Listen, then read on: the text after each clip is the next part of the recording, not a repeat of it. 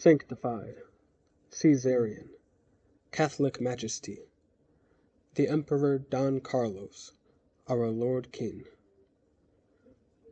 Royal and redoubtable Majesty, our King Paramount, from this city of Mexico, capital of New Spain, this day of Saint Paphnutius, martyr, in the year of our Lord one thousand five hundred thirty. Greeting.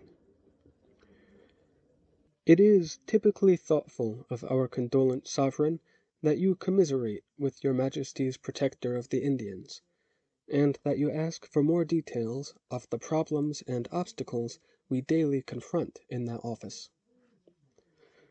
Heretofore, sire, it was the practice of the Spaniards who were granted landholdings in these provinces to appropriate also the many Indians already living thereon, and to brand their cheeks with the G for Guerra, and to claim them as prisoners of war, and cruelly to treat and exploit them as such.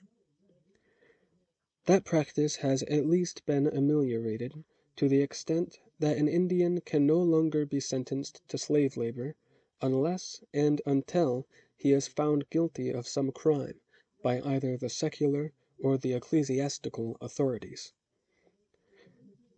Also, the law of Mother Spain is now more strictly applied in this New Spain, so that an Indian here, like a Jew there, has the same rights as any Christian Spaniard, and cannot be condemned for a crime without due process of charge, trial, and conviction. But of course the testimony of an Indian, like that of a Jew, even of converts to Christianity, cannot be allowed equal weight against the testimony of a lifelong Christian. Hence, if a Spaniard desires to acquire as a slave some robust red man or personable red woman, all he need do, in effect, is to lodge against that Indian any accusation that he has the wit to invent. Because we beheld the conviction of many Indians on charges that were moot at best, and because we feared for the souls of our countrymen who were apparently aggrandizing themselves and their estates by sophistical means unbecoming to Christians, we were saddened and we felt moved to action. Wielding the influence of our title as Protector of the Indians, we have succeeded in persuading the judges of the Audiencia that all Indians to be branded henceforth must be registered with our office. Therefore the branding irons are now kept locked in a box which must be opened with two keys, and one of the keys resides in our possession. Since no convicted Indian can be branded without our cooperation, we have consistently refused to cooperate in those cases that are flagrant abuses of justice, and those Indians have perforce been reprieved. Such exercise of our office as Protector of the Indians has earned us the odium of many of our countrymen, but that we can bear with equanimity knowing that we act for the ultimate good of all involved. However, the economic welfare of all New Spain might suffer, and the king's fifth of its riches be diminished, if we too adamantly obstructed the recruitment of the slave labor on which depends the prosperity of these colonies. So now, when a Spaniard is desirous of acquiring some Indian for a bondsman, he does not invoke the secular arm. He charges the Indian with being a Christian convert who has committed some lapsus fidei. Since our prelacy as defender of the faith takes precedence over all our other offices and concerns, we do not in those cases withhold the brand. Thus we simultaneously accomplish three things that we trust will find favor in your Majesty's sight. Primus, we effectually prevent the misfeasance of the civil law. Secondus, we steadfastly uphold church dogma as it regards lapsed converts. Tertius, we do not impede the maintenance of a steady and adequate labor supply. Incidentally, your majesty, the brand on the convict's cheek is no longer the demeaning G, which imputes the dishonor of defeat in war. We now apply the initials of the slave's designated owner, unless the convict is a comely woman, whom the owner prefers not to deface. Besides being a mark to identify property and runaways, such a branding eventually serves also to mark those slaves who are hopelessly rebellious and unfit for work. Many such intractable malcontents having passed through several changes of ownership, now bear numerous and overlapping initials upon their faces, as if their skin were a palimpsest manuscript. There is touching evidence of your compassionate Majesty's goodness of heart, in this same latest letter, when you say of our Aztec chronicler, anent the death of his woman, although of inferior race, he seems a man of human emotions, capable of feeling happiness and hurts quite as keenly as we do. Your sympathy is understandable, since your Majesty's own abiding love for your Queen Isabella and your baby son Felipe is a tender passion remarked and much admired by all. However, we respectfully suggest that you expend not too much pity on persons whom your Majesty cannot know as well as we do, and especially not on one who, over and over again, shows himself undeserving of it. This one may in his time have felt an occasional emotion, or entertained an occasional human thought which would do no discredit to a white man. But your Majesty will have noticed that though he professes to be now a Christian. The old dotard maundered much about his dead mate's still wandering the world. And why? Because she did not have a certain green pebble by her when she died. Also, as your Majesty will perceive, the Aztec was not long cast down by his bereavement. In these ensuing pages of the narrative he again ramps like a colossus, and behaves in his old accustomed ways. Sire, not long ago we heard a priest wiser than ourself say this, that no man should be unreservedly lauded while he still lives and still sails upon the unpredictable seas of life. Not he nor anyone can know whether he will survive all the besetting tempests and the lurking reefs and the distracting siren songs, to make safe harbor at last. That man alone can rightly be praised whom God has guided so that he finishes his days in the port of salvation, for the Gloria is sung only at the end. May that guiding Lord God continue to smile upon and favor your Imperial Majesty, whose royal feet are kissed by your chaplain and servant. Ecce signum, Zumárraga.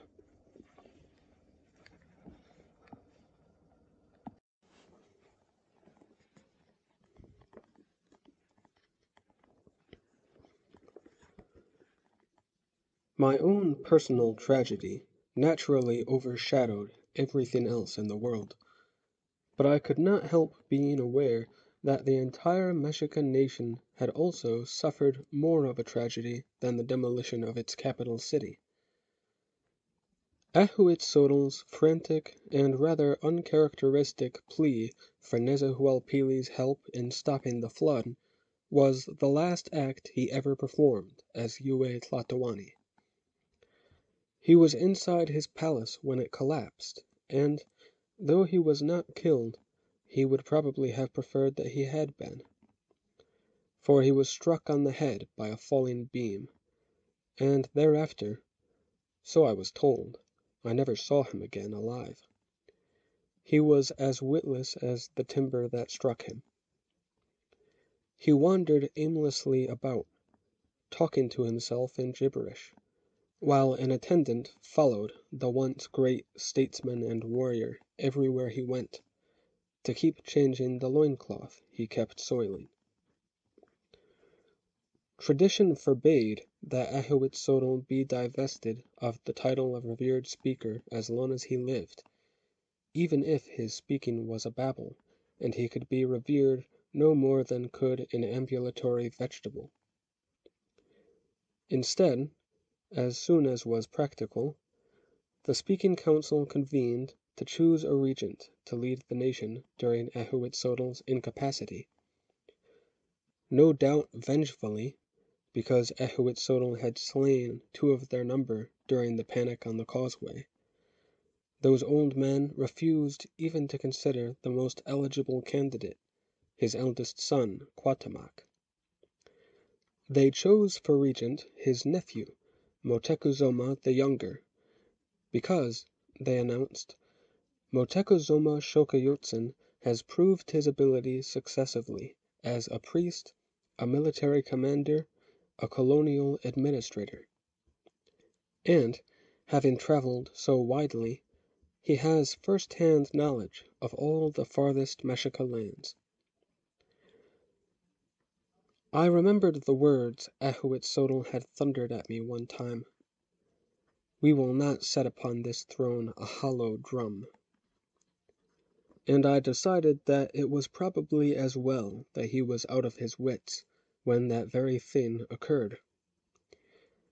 If Ahuitzotl had been killed outright, so that he died in his right mind, he would have clambered up from the nethermost pit of Mictlan and sat his cadaver on the throne in preference to Moctezuma.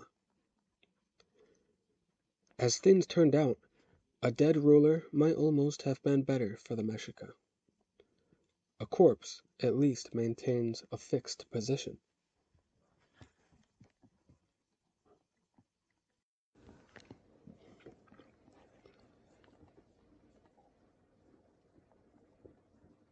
But at that time I was not at all interested in court intrigues.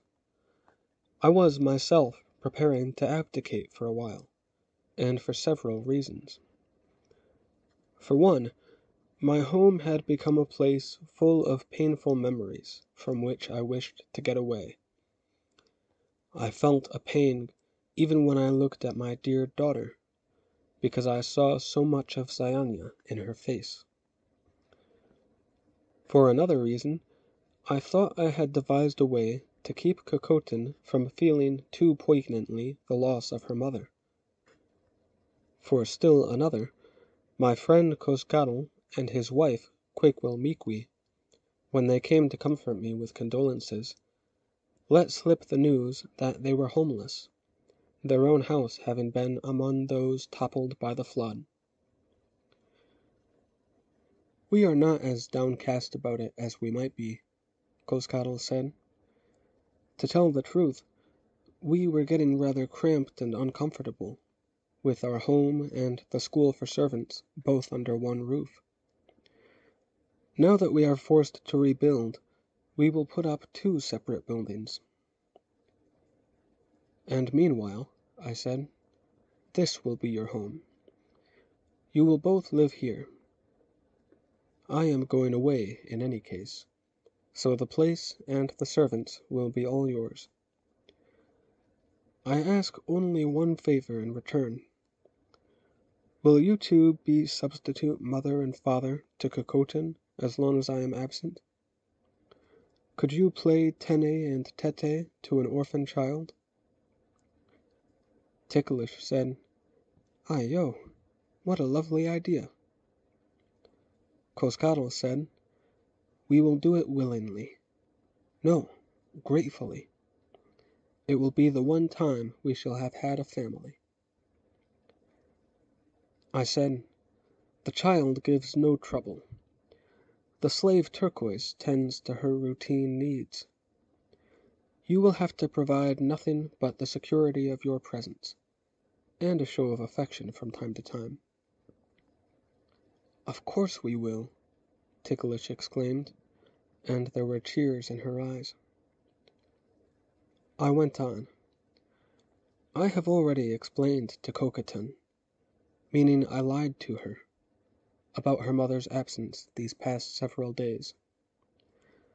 I said that her Tene is out marketing, buying the necessities she and I will need for a long journey we must undertake. The child only nodded and said, "Long journey," but it means little to her at her age. However, if you keep reminding Cocoton that her Tete and Tene are travelling in far places, well, I hope she will have got used to being without her mother by the time I return, so that she will not be too dismayed when I tell her that her Tene has not returned with me. But she would get used to being without you, too, Cozcatl warned. I suppose so, I said resignedly. I can only trust that, when I do come back, she and I can get reacquainted again. In the meantime, if I know that Cocoton is well cared for and is loved "She will be," Ticklish said, laying a hand on my arm. "We will live here with her for as long as need be, and we will not let her forget you, Mixtli." They went away to prepare for the moving in of what possessions they had saved from the ruins of their own house. And that same night I put together a light and compact traveling pack. Early the next morning I went into the nursery and woke Cocoton, and told the sleepy little girl, "Your Tene asked me to say good bye for us both, Small Crumb, because because she cannot leave our train of porters, or they will scatter and run away like mice.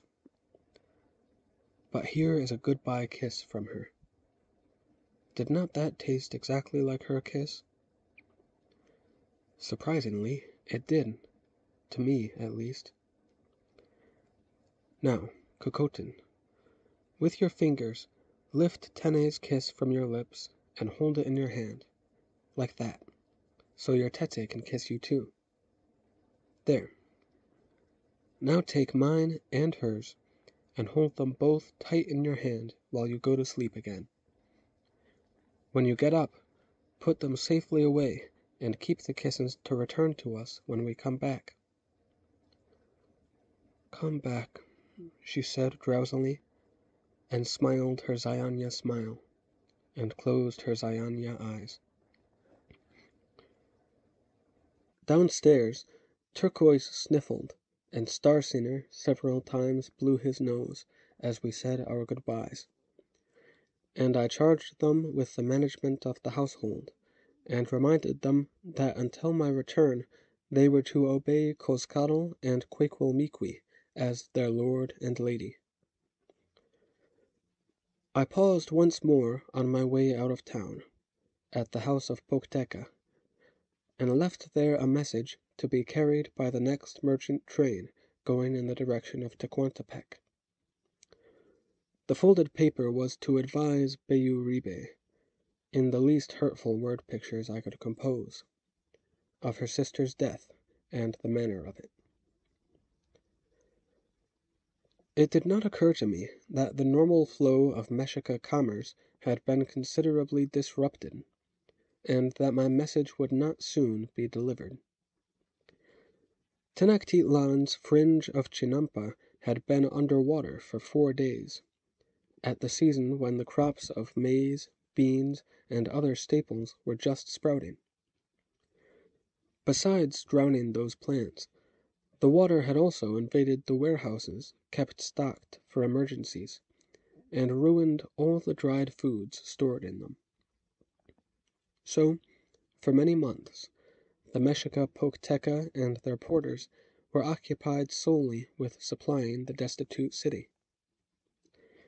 That kept them constantly traveling, but did not take them far afield, and that is why Waiting Moon did not learn of Zyanya's death until more than a year after it happened. I was also constantly traveling during that time, wandering like a milkweed puff wherever the winds might blow me, or wherever some scenic vista beckoned me closer, or wherever a path meandered so tantalizingly that it was forever seeming to say, "Follow me. Just around the next bend there is a land of heart's ease and forgetfulness." There never was such a place, of course. A man can walk to the end of all the roads there are, and to the end of his days, but he can nowhere lay down his past and walk away from it and never look back. Most of my adventures during that time were of no special account, and I sought to do no trading nor to burden myself with acquisitions; and if there were fortuitous discoveries to be made, like the giant tusks I found that other time I tried to walk away from woe, I passed them unseen. The one rather memorable adventure that I did have I fell into quite by accident, and it happened in this way. I was near the west coast, in the land of Nauyar Ixu, one of the remote northwestern provinces or dependencies of Michihuacan. I had wandered up that way just to see a volcano that had been in violent eruption for almost a month and threatened never to stop. The volcano is called Ceboruco, which means to snort with anger. But it was doing more than that. It was roaring with rage, like the overflow of a war going on down below in Mictlan. Gray black smoke billowed from it, shot with jacinth flashes of fire, and towered up to the sky and had been doing that for so many days that the whole sky was dirty, and the whole of Nauyar Ixu in day-long twilight. From that cloud constantly rained down a soft, warm, pungent gray ash. From the crater came the incessant angry growl of the volcano goddess Chantico, and gouts of fiery red lava and what looked from a distance like pebbles being tossed up and out, though they were, of course, immense hurled boulders. Ceboruco sits at the head of a river valley, and its outpour found its easiest course along that riverbed. But the water was too shallow to chill and harden and stop the molten rock. The water simply shrieked to an instant boil when they met, and then steamed away before the onslaught. As each successive wave of hot, glowing lava vomited from the crater, it would surge down the mountainside and down the valley, then flow more slowly, then merely ooze as it cooled and darkened but its hardening provided a smoother slide for the next gush, which would run farther before it stopped. So by the time I arrived to see the spectacle, the molten rock had, like a long red tongue, lapped far down the retreating river. The heat of liquefied rock and sizzling steam was so intense that I could get nowhere near the mountain itself. Nobody could, and nobody else wanted to. Most of the people living thereabouts were glumly packing their household belongings to get farther away. I was told that past eruptions had sometimes devastated the entire river valley as far as the sea coast, perhaps twenty one long runs away. And so did that one. I have tried to convey the fury of the eruption, reverend scribes, just so you will believe me when I tell how it finally flung me right off the one world and out into the unknown. Having nothing else to do, I spent some days ambling along beside the river of lava, or as close as I could walk beside its scorching heat and unbreathable fumes, while it implacably boiled away the river water and filled its bed from bank to bank. The lava moved like a wave of mud, at about the pace of a man's slow walk. So, when each night I made camp on higher ground, and ate from my provisions, and rolled into my blanket, or hung my guichet between two trees, I would wake in the morning to find that the moving rock had so far outdistanced me that I would have to hurry to catch up with its forward edge. But the mountain Ceboruco, though it diminished behind me, continued to spew. So I kept on accompanying its outpour, just to see how far the lava would go. And after some days it and I arrived at the Western Ocean. The river valley there squeezes between two highlands, and debouches into a long, deep crescent of beach embracing a great bay of turquoise water. There was a settlement of reed huts on the beach, but no people anywhere about. Clearly the fisher folk, like those farther inland, had prudently decamped. But someone had left a small sea-going acali drawn up on the beach, complete with its paddle. It gave me the notion of paddling out into the bay to watch, from a safe distance when the seething rock met the sea. The shallow river had been unable to resist the lava's advance, but I knew the inexhaustible waters of the ocean would stop it. The encounter, I thought, would be something worth seeing. It did not happen until the next day, and by then I had put my traveling pack in the canoe and paddled out beyond the breakers, and I sat in the very middle of the bay. I could see through my topaz how the evilly smouldering lava spread and crept across the beach, advancing toward the waterline on a broad front. Not much was visible inland, except that I could just make out, through the obscuring smoke and falling ash, the pinkish flare and occasional brighter yellow twinkle of Ceboruco still vomiting from the bowels of Mictlan.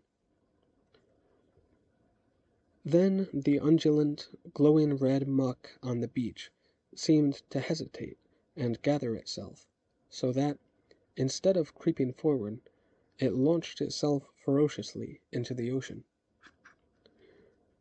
During the days previous, up the river, when the hot rock and cold water had met.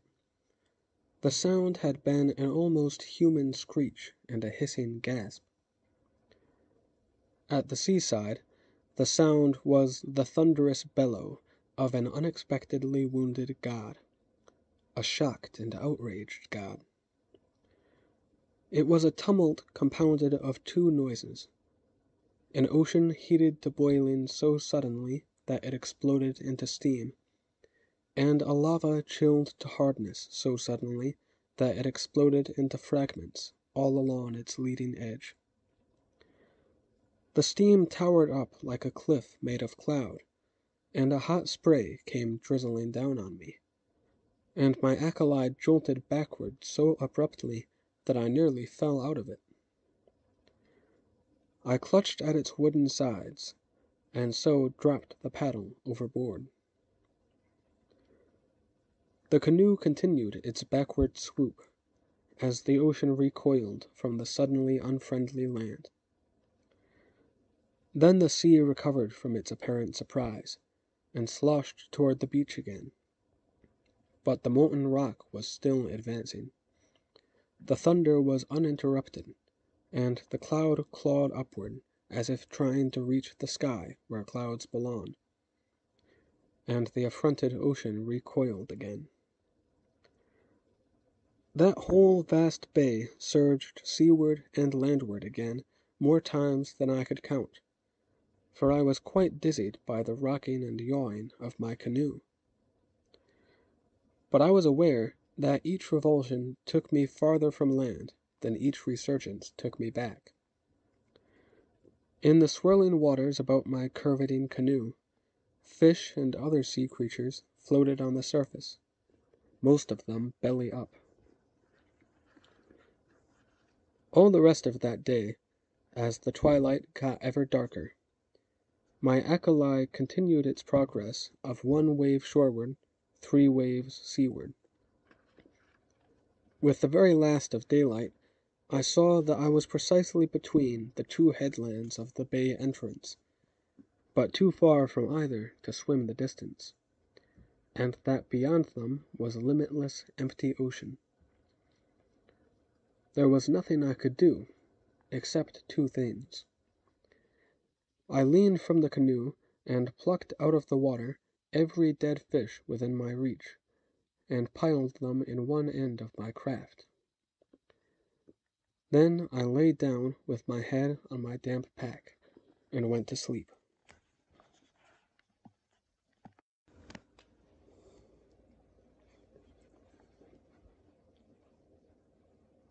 When I woke the next morning, I might have thought I had dreamt all that turmoil, except that I was still helplessly adrift in an acali, and the shore was so far away that its only recognizable feature was the jagged profile of dim blue mountains. But the sun was rising in a clear sky. There was no pall of smoke and ash. There was no erupting Ceboruco discernible along the distant mountains. The ocean was as calm as Lake Xaltocan on a summer day. Using my topaz, I fixed my eye on the landward horizon and attempted to imprint its profile on my vision. Then I closed my eyes for a few moments before opening them again to see any change from the remembered vision. After doing that several times, I was able to perceive that the closer mountains were moving past the farther ones, from left to right. Obviously, then, I was caught in an ocean current that was carrying me northward but frighteningly far offshore. I tried swerving the canoe by paddling with my hands on the side away from the land, but I quickly gave that up. There was a swirl in the formerly calm water alongside, and something struck the acali so hard that it rocked. When I looked overside I saw a deep gouge in the hard mahogany, and an upright fin, like an oblong leather war shield, slicing through the water nearby. It circled my canoe two or three times before it disappeared with another ponderous swirl of the water, and thereafter I put not so much as a finger beyond the sheltering wood. Well, I thought to myself, I have escaped any dangers posed by the volcano. Now I have nothing to fear except being eaten by sea monsters, or dying of hunger, or shriveling from heat and thirst, or drowning if the sea gets rough. I thought about Quetzalcoatl, the long ago ruler of the Tolteca who had similarly floated away alone into the other ocean to the east, and thereby had become the best beloved of all gods, the one god adored by far apart peoples who had absolutely nothing else in common. Of course, I reminded myself, there had been a crowd of his worshipful subjects on the shore to watch his departure, and to weep when he did not turn back, and subsequently to go about informing other people that Quetzalcoatl the man was henceforth to be revered as Quetzalcoatl the god. Not a single person had seen me set off, or knew about it, or was likely, when I never came back, to start a popular demand for my elevation to godhood. So, I said to myself, if I have no hope of becoming a god, I had better do what I can to remain a man as long as possible. I had twenty and three fish, from which I picked and laid aside ten which I recognized as being of edible species. Of those I cleaned two with my dagger and ate them raw, though not quite raw. They had been at least a little cooked in the cauldron of the bay back yonder. The thirteen questionable fish I gutted and filleted, and then, getting my eating bowl from my pack, I run them like rags to extract every drop of their body moisture. I tucked the bowl of liquid and the eight remaining edible fish under the pack so they were out of the sun's direct rays. Thus I was able to eat two more fish, still comparatively unspoiled, the next day. But by the third day I really had to force myself to eat two more, trying to swallow the chunks of them without chewing. They were so slimy and vile and I threw the reeking last four over the side. For some while after that, my only sustenance actually just a moistening of my painfully cracked lips was a very occasional and restrained sip of the fish water from the bowl. I think it was also on my third day at sea that the last visible mountain peak of the one world disappeared below the horizon to the east. The current had carried me entirely out of sight of land, and there was nothing firm anywhere. And that was the first such experience I had ever had in my life. I wondered if I might eventually be cast up on the islands of the women, of which I had heard storytellers tell though none ever claimed to have been there in person. According to the legends, those were islands inhabited entirely by females, who spent all their time in diving for oysters and extracting the pearl hearts from those oysters which had grown hearts. Only once a year did the women ever see men, when a number of men would canoe out from the mainland to trade cloth and other such supplies for the collected pearls, and, while there, to couple with the women. Of the babies later born of the brief mating, the island women kept only the female infants, and drowned the males. Or so said the stories. I meditated on what would happen if I should land on the islands of the women, uninvited and unexpected. Would I be immediately slain, or subjected to a sort of mass rape in reverse? As it happened, I found not those mythical islands, nor any others. I merely drifted miserably across those endless waters. The ocean ringed me about on every side, and I was most unhappy feeling like an ant at the very bottom and center of a blue urn whose sides were slippery and unclimbable. The nights were not so unnerving, if I put away my topaz so I could not see the overwhelming profusion of stars. In the dark I could pretend I was somewhere safe, anywhere solid, in a mainland forest or even inside my own house. I could pretend that the rocking boat was a guichet bed of rope slung netting, and thus sleep soundly. During the days, however, I could not pretend that I was anywhere but in the exact middle of that appalling blue, hot, shadeless vastness. Fortunately for my sanity, there were a few other things to see by daylight, besides that unending, uncaring expanse of water.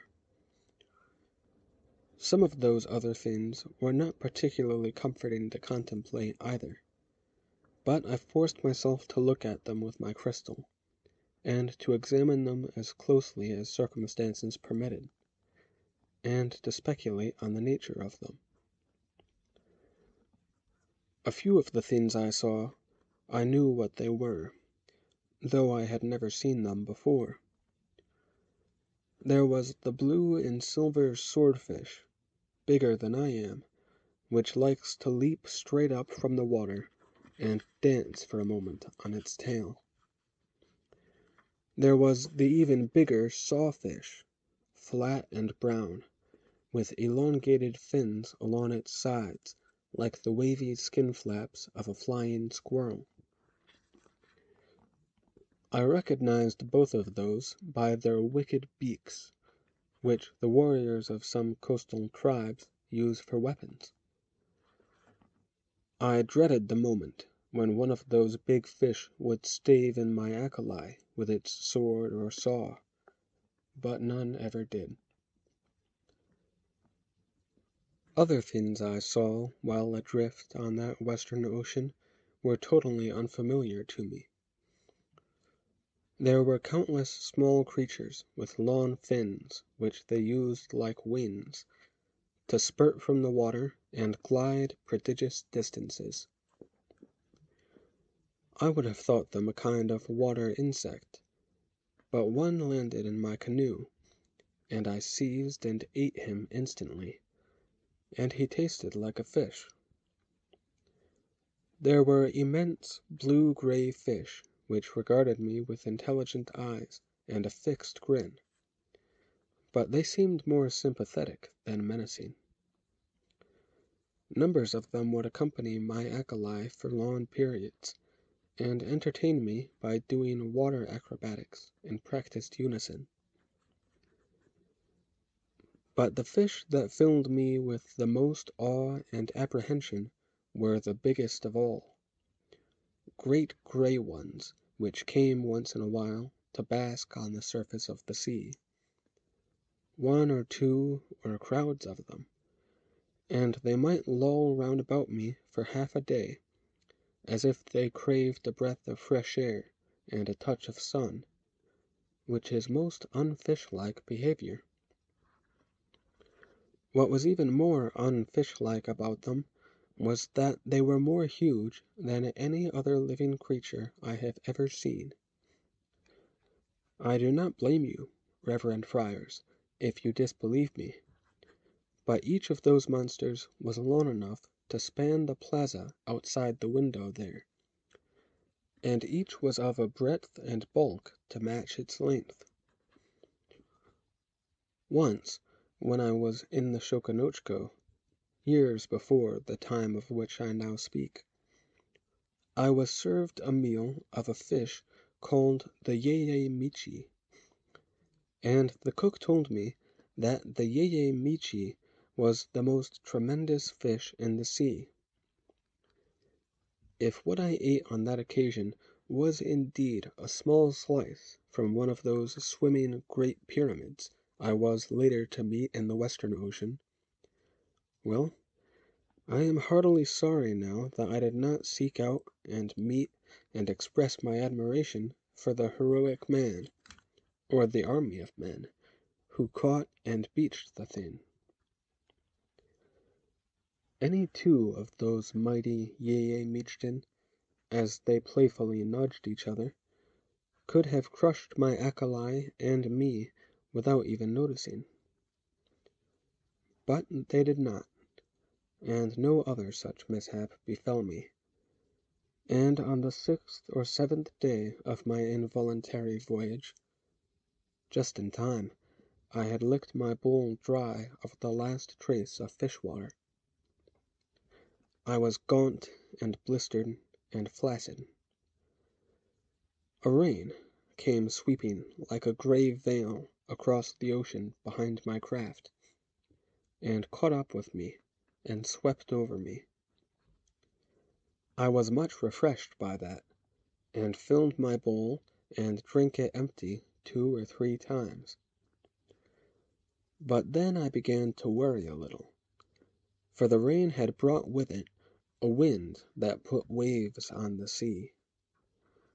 My canoe bounced and jostled about like a mirrored ship of wood, and very soon I was using my bowl to bail out the water that sloshed in over the sides.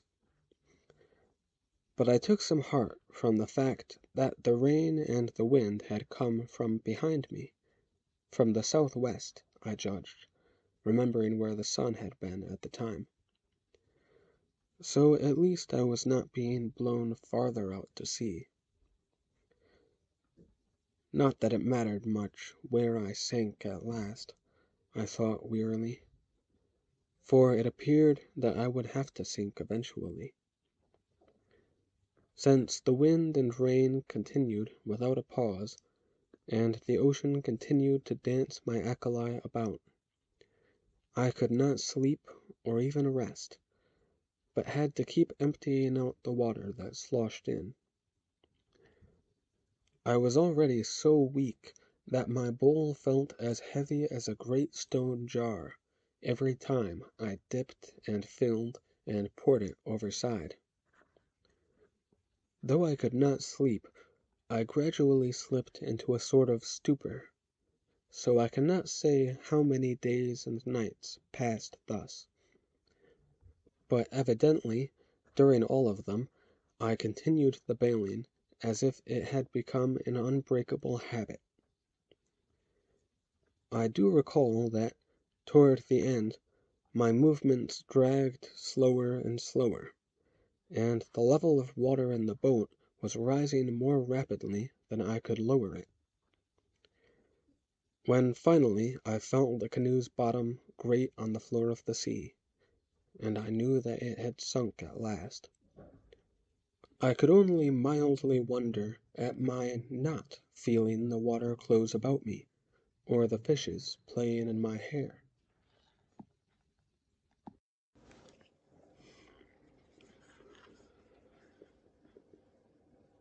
I must have lost consciousness then, for when I came again to myself, the rain was gone and the sun was shining brightly, and I looked about me, marveling.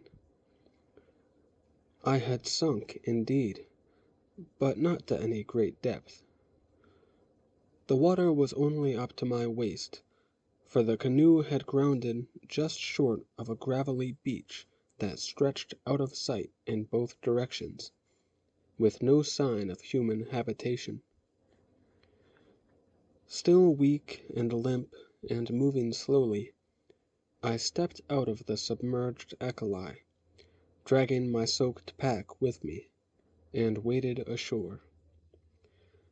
There were coconut palms beyond the beach, but I was too feeble to climb or even shake one or to look for any other sort of food. I did make the effort of emptying out the contents of my pack to dry in the sun, but then I crept to the palm shade and went unconscious again. I awoke in darkness, and it took me a few moments to realize that I was not still bobbing about on the sea surface. Where I was I had no idea. But it seemed that I was no longer alone, for all about me I heard a mysterious and unnerving noise. It was a clicking that came from nowhere and everywhere. No single click very loud, but all of them together making a crackling like an invisible brush fire advancing upon me. Or it could have been multitudes of people trying to steal upon me, but not very stealthily, for they were either trampling every loose pebble on the beach or snapping every twig among the beach litter. I started up, and at my movement the clicking instantly ceased.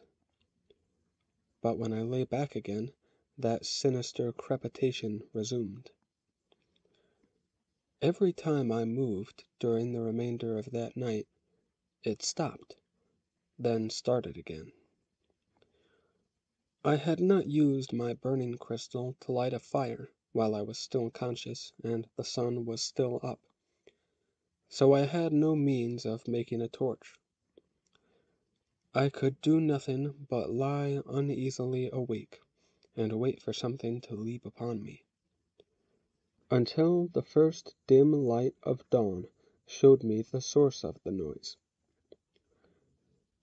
At first sight it made my flesh creep. The entire beach, except for a clearing around the spot where I lay, was covered with green brown crabs the size of my hand, clumsily twitching and slithering over the sand and each other. They were countless, and they were of a kind that I had never seen before. Crabs are never appealingly pretty creatures, but all that I had previously seen had at least been symmetrical. Those were not. Their two front claws did not match. One claw was a large, unwieldy lump mottled brilliant red and blue. The other claw was plain crab colored, and it was narrow, like a split twig. Each crab was using its narrow claw like a drumstick to beat upon the big claw as upon a drum, tirelessly and not at all musically. The dawn seemed to be the signal for them to cease their ridiculous ceremony. The numberless horde thinned out as the crabs scattered to their burrows in the sand. But I managed to catch a number of them, feeling that they owed me something for having made me quake so long, awake and anxious in the dark. Their bodies were small, and contained too little meat to be worth digging out of the shell. But their big drum claws, which I roasted over a fire before cracking them open, provided quite a savory breakfast. Full fed for the first time in recent memory, and feeling a bit more alive, I stood up from my fire to take stock of my situation. I was back again on the One World, and certainly still on its western coast, but I was incalculably farther north than I had ever previously been. As always, the sea stretched to the western horizon, but it was oddly much less boisterous than the seas I had known farther south. No tumbling breakers or even a lively froth of surf, but only a gentle lapping at the shore. In the other direction, eastward, beyond the shoreline palms and other trees, there rose a range of mountains. They looked formidably high, but they were pleasantly green with forests not like the ugly volcanic ranges of dun and black rock where I had recently been. I had no way of knowing how far I had been carried north by the ocean current, and then by the rainstorm. But I did know that if I merely walked southward down the beach, I would, sometime, get back to that bay near Ceboruco, and from there I would be in familiar country. By staying on the beach, too, I would not have to worry about food and drink. I could live entirely on the drummer crabs and coconut liquid, if nothing else offered. But the plain fact was that I had had quite enough of the cursed ocean, and I wanted to get out of sight of it. Those mountains inland were foreign to me, and possibly inhabited by savage people or wild animals of breeds I had never encountered before. Still, they were but mountains, and I had travelled in many other mountains, and I had lived well enough off the provender they offered. Most appealing to me at that moment, though, was the knowledge that the mountains would provide a variety of scenery which no sea or seaside can ever do. So I stayed on that beach only to rest and regain my strength during two or three days. Then I repacked my pack and turned to the east, and headed for the first foothills of those mountains.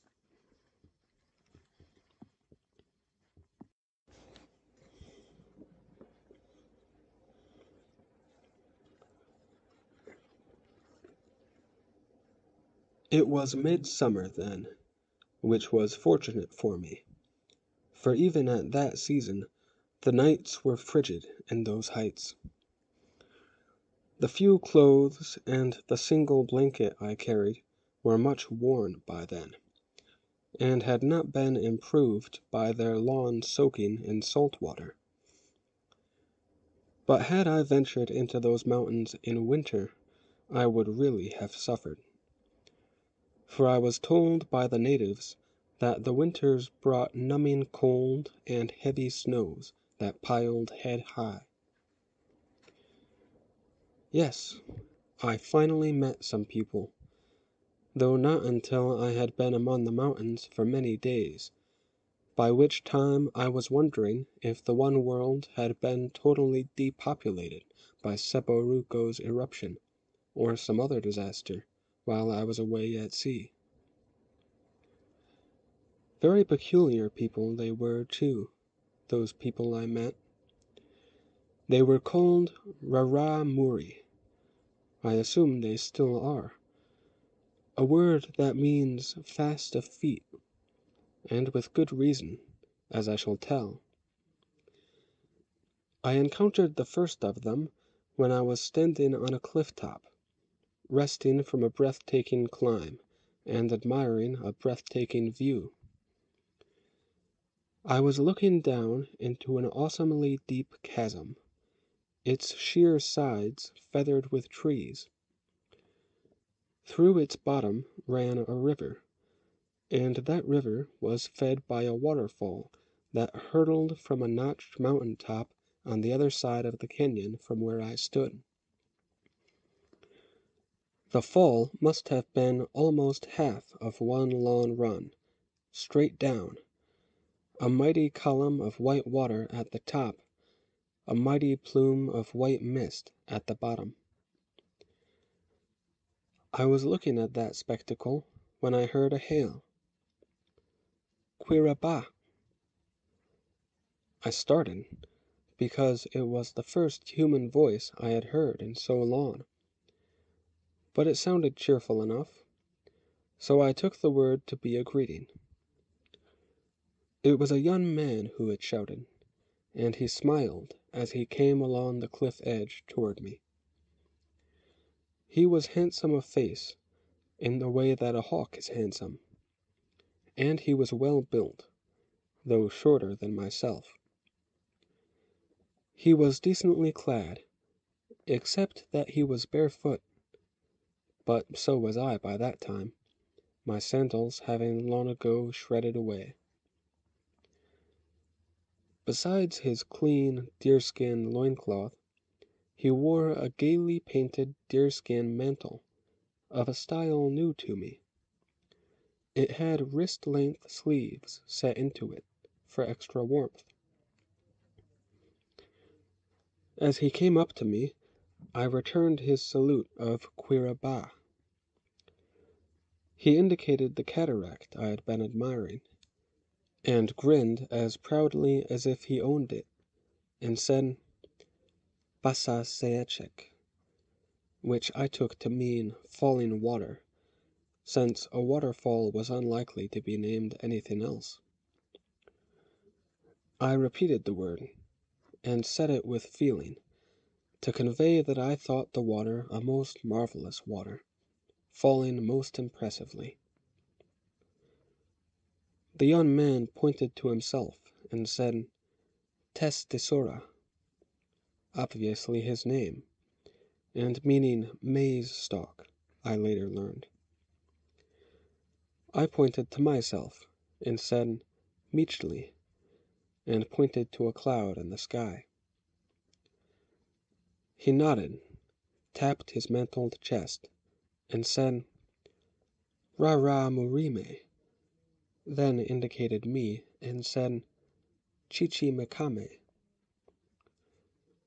I shook my head emphatically, slapped my bare chest, and said, Mexicatl, at which he only nodded again, indulgently, as if I had specified one of the numberless tribes of the Chichimeca dog people.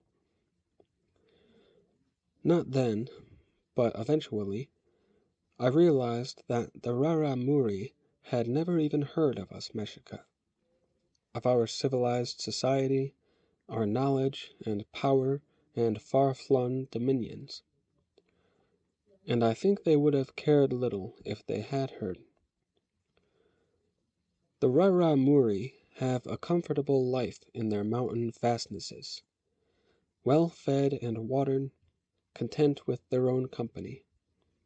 So they seldom travel far. Hence they know no other peoples except their near neighbors, of whom the occasional raider or forager or simple wanderer happens into their country, as I had done.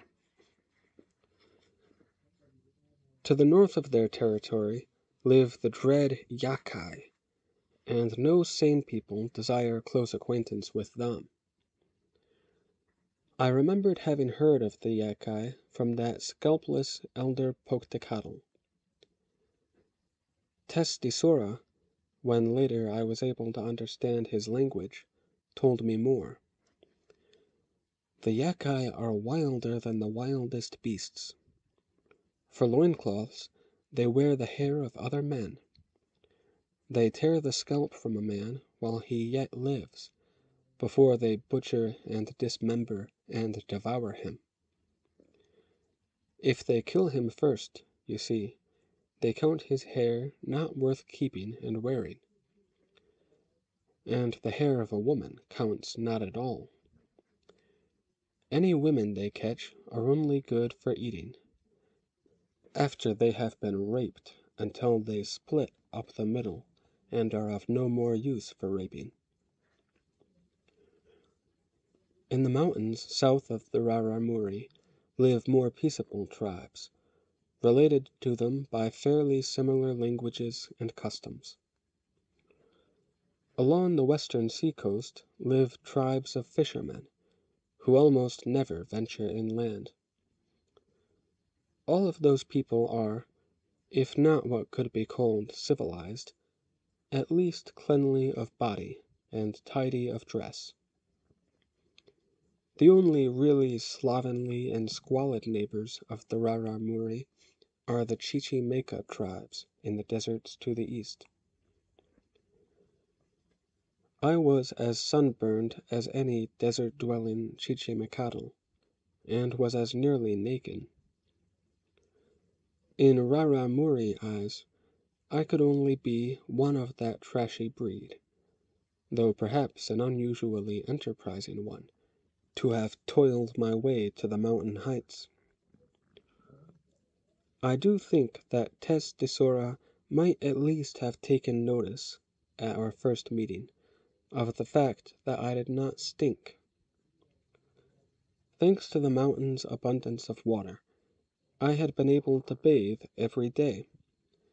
And, like the Raramuri, I continued to do so. But, despite my evident gentility, despite my insistence that I was of the Mexica, despite my reiterated glorification of that far off nation. I never persuaded one single person of the Raramuri that I was not just a Chichimakame fugitive from the desert. No matter. Whatever they believed me to be, or whatever they thought I was pretending to be, the Raramuri made me welcome. And I lingered among them for a time, simply because I was intrigued by their way of life and enjoyed sharing it. I stayed with them long enough to learn their language sufficiently to be able to converse at least with the help of many gestures on my part and theirs. Of course, during my first encounter with Tess Tesora, all our communication was done by gestures. After we had exchanged names, he used his hands to indicate a shelter over his head, meaning a village, I assumed, and said, Guagwe Bo and pointed southward.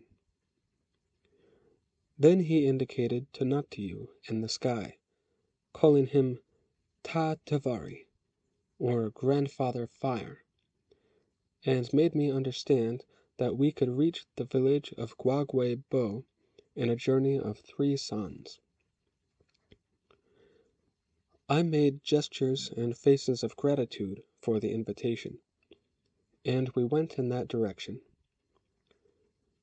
To my surprise, Tess Tesora set off at a lope.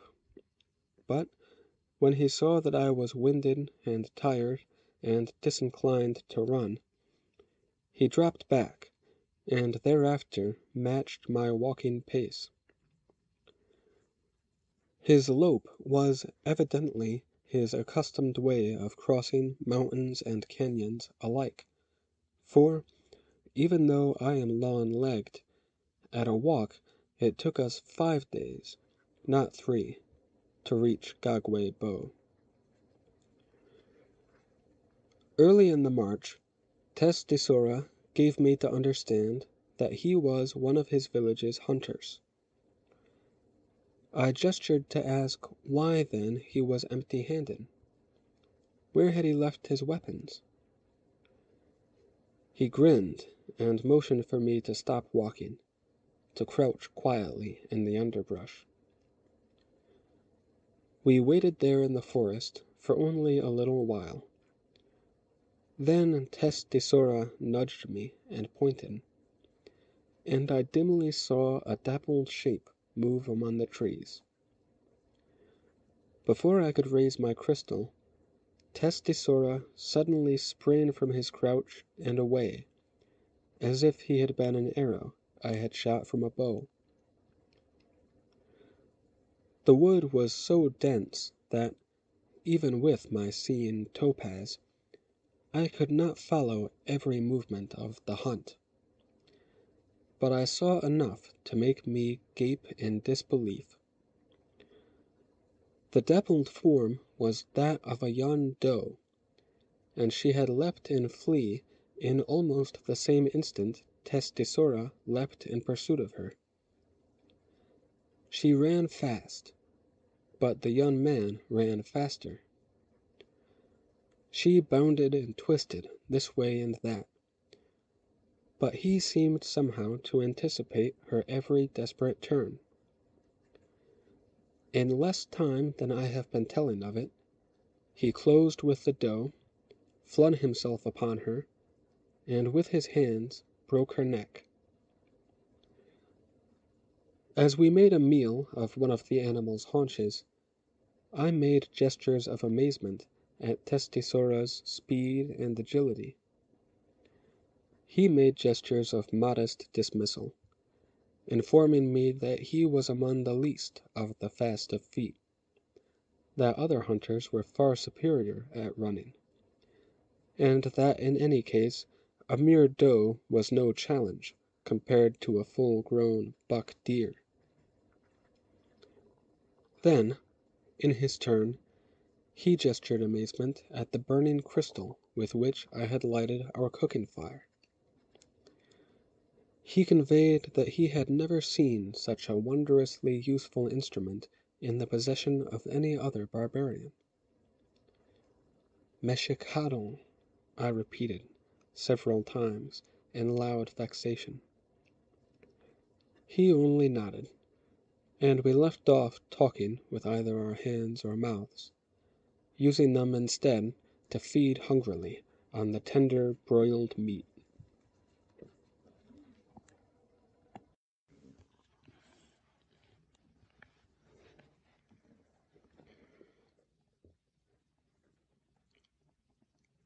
Gagwe Bo was situated in another of the spectacularly vast chasms of that country, and it was a village in the sense that it housed some twenties of families, perhaps three hundred persons altogether.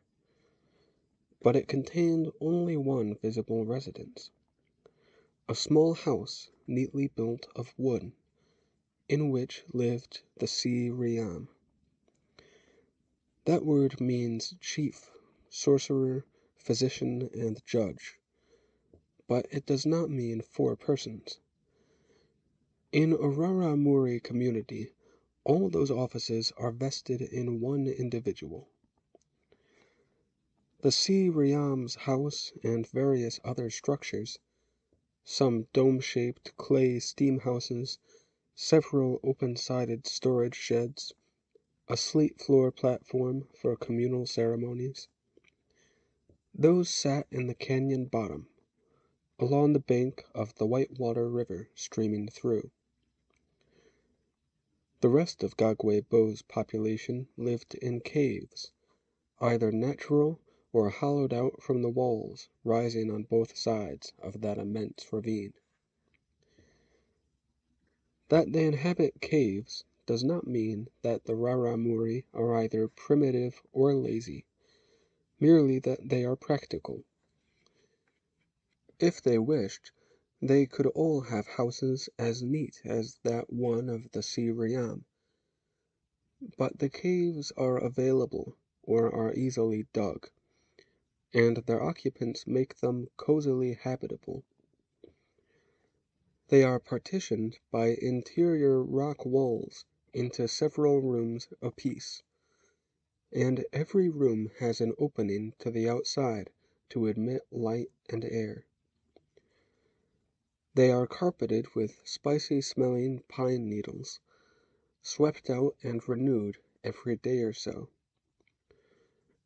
Their exterior openings are curtained, and their walls are decorated with deerskins painted in lively designs. The cave dwellings are rather more comfortable, commodious, and well appointed than many a city house I have been in. Testisura and I arrived in the village, moving as rapidly as we could with the burden slung on a pole we carried between us. Incredible as it may sound, in the early morning of that day he had run down and killed a buck deer a doe, and a good-sized wild boar.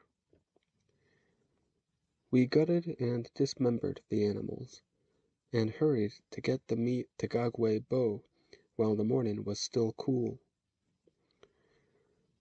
The village was being plentifully stocked with food by all its hunters and gatherers, because, Testisura informed me, a Tesquina Puri festival was just about to begin. I silently congratulated myself on my good fortune in having encountered the Raramuri when they were in a mood to be hospitable.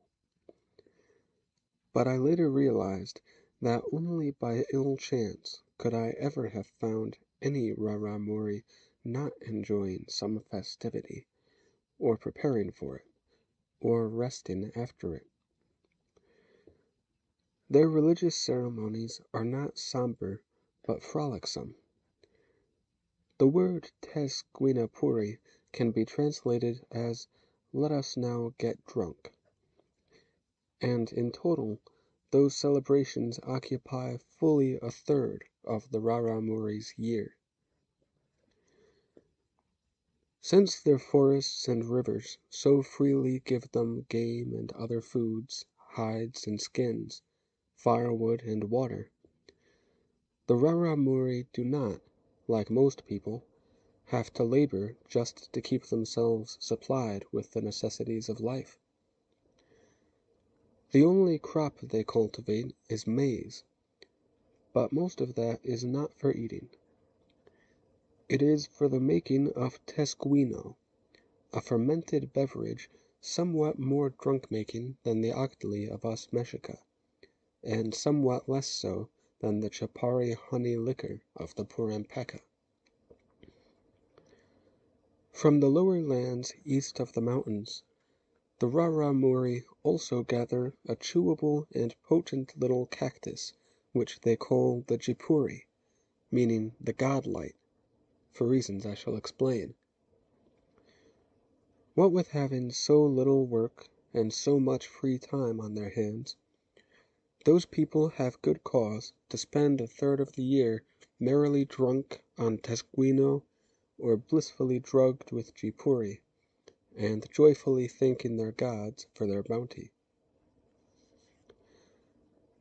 On the way to the village, I had learned from Tess Sora some fragments of his language, and he and I were communicating more freely.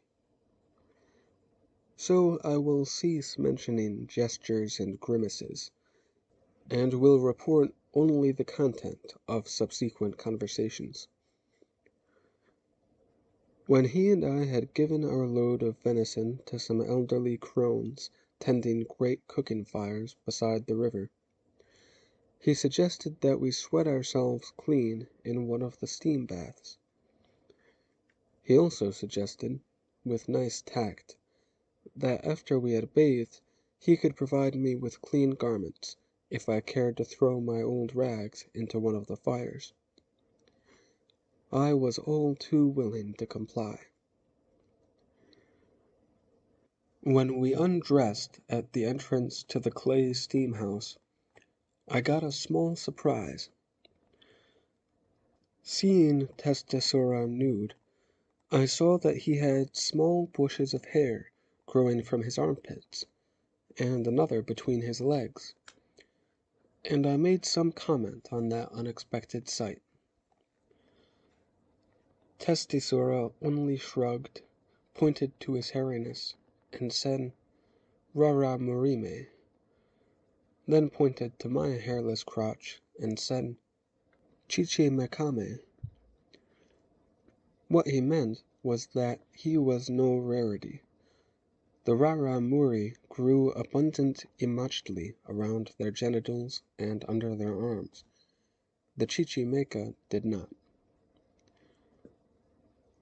I am not of the Chichimeca, I said yet again, but I said it absently for I was thinking. Of all the peoples I had known, only the Raramuri grew that superfluous hair. I supposed that it was induced by the extremely cold weather they endured during part of each year, though I could not see that a growth of hair in those places was any useful protection against the cold. Another thought occurred to me, and I asked Testisora, "Do your women grow similar little bushes?" He laughed, and said that of course they did. He explained that a sprouting of Yamachli fuzz was one of the first signs of a child's approaching manhood or womanhood. On males and females alike. The fuzz gradually became hair. Not very long hair, and no nuisance or impediment, but undeniably hair. I had already noticed, in the very brief time I had been in the village, that many of the Raramuri women, though well muscled, were also well shaped and exceedingly fair of face which is to say that I found them attractive even before I knew of that distinctive peculiarity. which set me wondering. How would it feel to couple with a woman whose tepili was not forthrightly visible, or faintly veiled by only a fine down, but darkly and tantalizingly screened by hair like that on her head? "You can easily find out," said Testisora, as if he had divined my unspoken thought. During the Testguinapuri games, simply chase a woman and run her down and verify the fact. When I had first entered Gagwe Bo, I had been the object of some understandably wary and derisive glances from the villagers. But when I was clean, combed, and clad in loin cloth and sleeved mantle of supple deerskin, I was no longer eyed with disdain. From then on, except for the occasional giggle when I made an outrageous mistake in speaking their language, the Raramuri were courteous and friendly to me. And my exceptional size if nothing else about me, attracted some speculative, even admiring looks from the village girls and unattached women. It seemed there were more than a few of them who would gladly run for me to chase. They were almost always running anyway. All the Raramuri, male and female, old and young, if they were beyond the age of mere toddling, and not yet at the age of doddering, they ran. At all times of day, except for those intervals of immobility when they were occupied with some task, or were sodden with tesquino, or dazzled by the godlight Jipuri, they ran. If they were not racing each other in pairs or in groups, they ran alone, back and forth along the floor of the canyon, or up and down the slanting canyon walls. The men usually ran while kicking a ball ahead of them, a carved and carefully smoothed round ball of hard wood as big as a man's head. The females usually ran chasing a small hoop of woven straw, each woman carrying a little stick with which she scooped up the circlet on the run and threw it farther on, and the other women ran competing to catch up to it first and throw it next. All that frenetic and incessant commotion appeared purposeless to me. But Testisora explained. It is partly high spirits and animal energy, but it is more than that. It is an unceasing ceremony in which, through the exertion and sweat expended, we pay homage to our gods Ta Tavari and Ka Laumari and Ma Tinieri.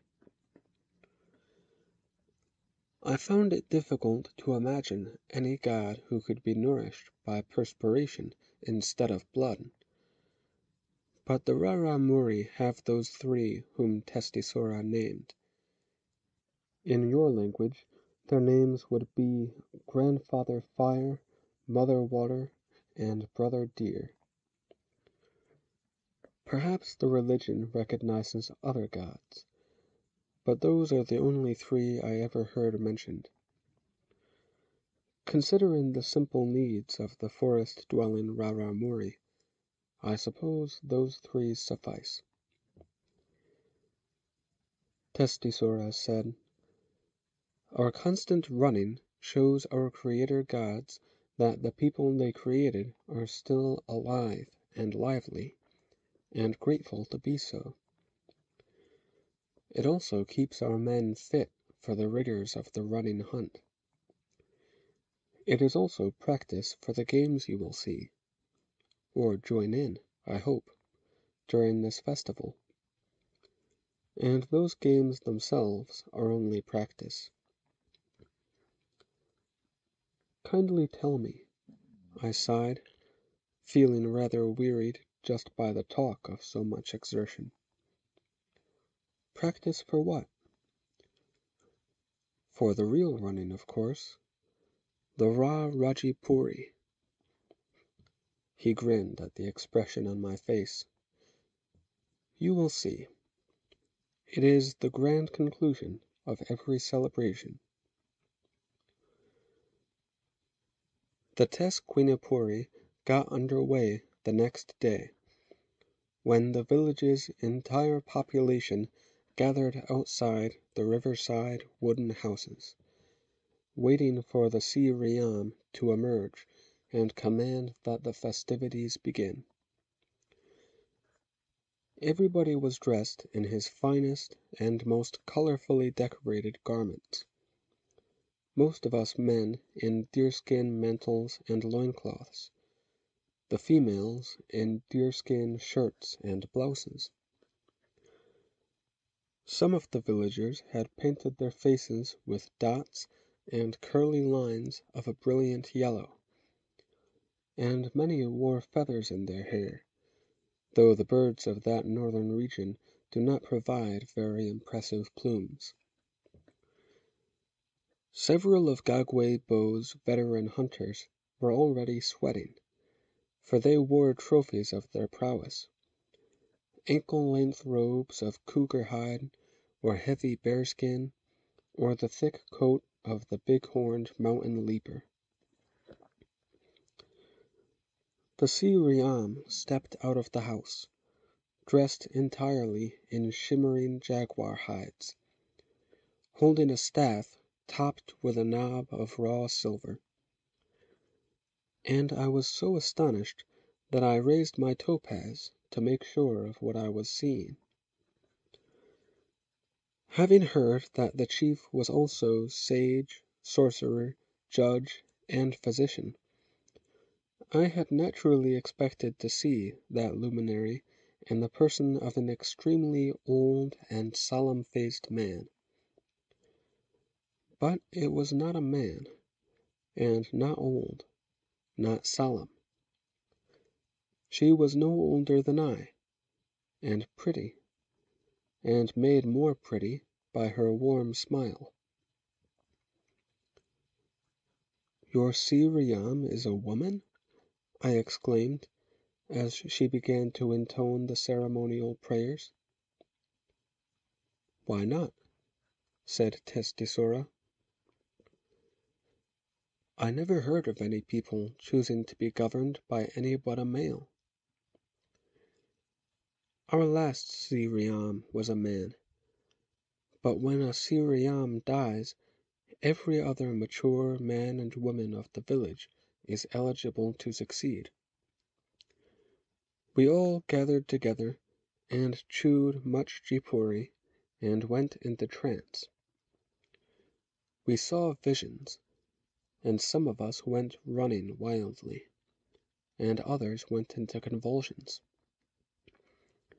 But that woman was the only one blessed by the godlight. Or at least she was the first to awaken and tell of having seen and talked with Grandfather Fire, with Mother Water, and Brother Deer. She indubitably had been shone upon by the godlight, which is the supreme and sole requirement for accession to the office of Siriam. The handsome woman finished her chanting, smiled again, and raised her shapely arms aloft in a general benediction, then turned and went back into the house, as the crowd gave her a cheer of affectionate respect. "She stays in seclusion?" I asked Testisora. "During the festivals, yes he said, and chuckled. Sometimes our people misbehave during a Test Guinapuri. They fight among themselves, or they indulge in adulteries, or they commit other mischiefs. The Si Riam is a wise woman. What she does not see or hear about, she does not punish. I do not know whether it would have been regarded as a mischief what I intended to do to chase and catch and couple with the most delectable available sample of Raramuri womanhood. But, as things happened, I did not exactly do that. And, far from being punished, I was rewarded in a way.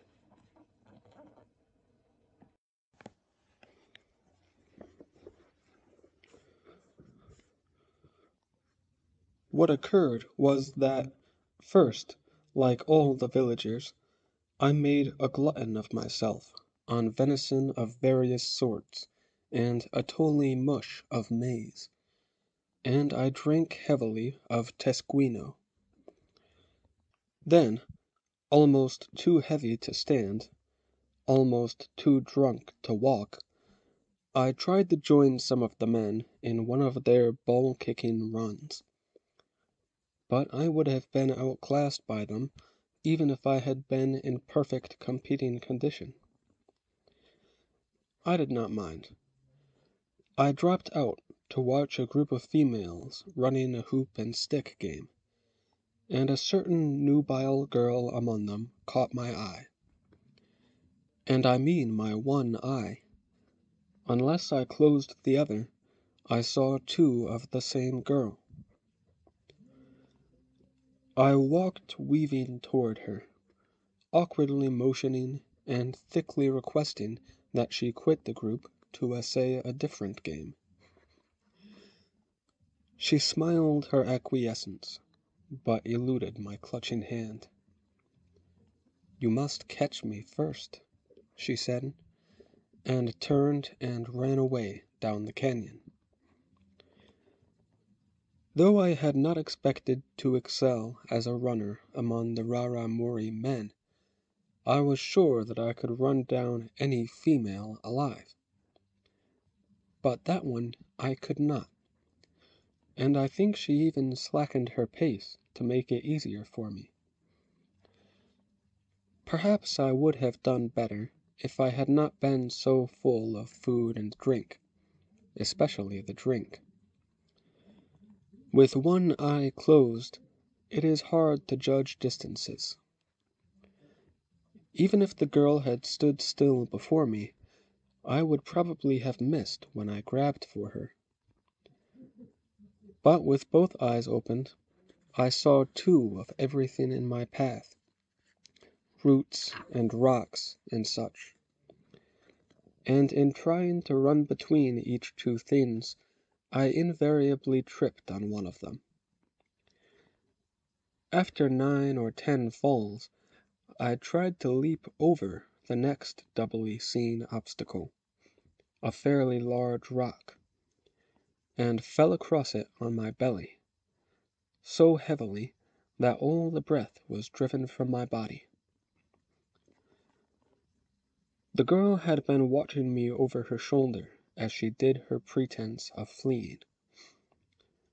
When I fell, she stopped and came back to stand over my clenched body, and said in a voice of some exasperation, Unless you catch me fairly, we cannot play any other game, if you know what I mean. I could not even wheeze at her. I lay doubled up painfully trying to gasp some air back into me. And I felt quite incapable of playing any further games whatever. She frowned peevishly, probably sharing my low opinion of me. But then she brightened and said, I did not think to ask. Have you partaken of the jipuri?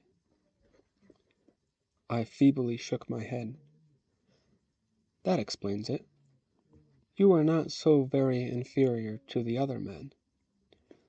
They have the advantage of that enhanced strength and stamina. Come, you shall chew some jipuri." I was still curled into a ball, but I was almost beginning to breathe again, and her imperious command allowed of no refusal.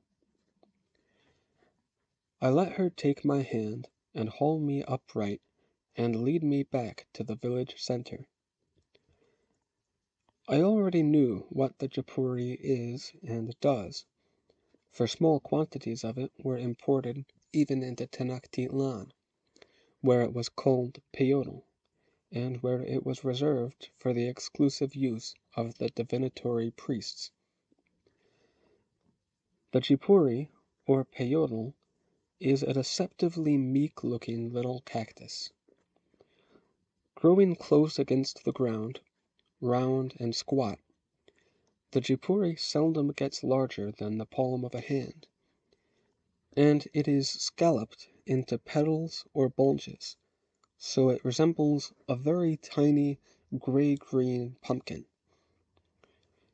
For its most potent effect, it is best chewed when fresh picked, but it can be dried for keeping indefinitely the wrinkled brown wads threaded on strings, and in the village of Gagwe Bo many such strings hung from the rafters of the several storage sheds. I reached to pluck one down, but my companion said, "Wait, have you ever chewed jipuri?" Again I shook my head. Then you will be a Matuan, one who seeks the godlight for the first time. That requires a ceremony of your purification. No, do not groan so. It need not long delay our our game. She looked around at the villagers, still eating or drinking or dancing or running. Everyone else is too busy to participate. But the Siriam is unoccupied. She should be willing to administer the purification.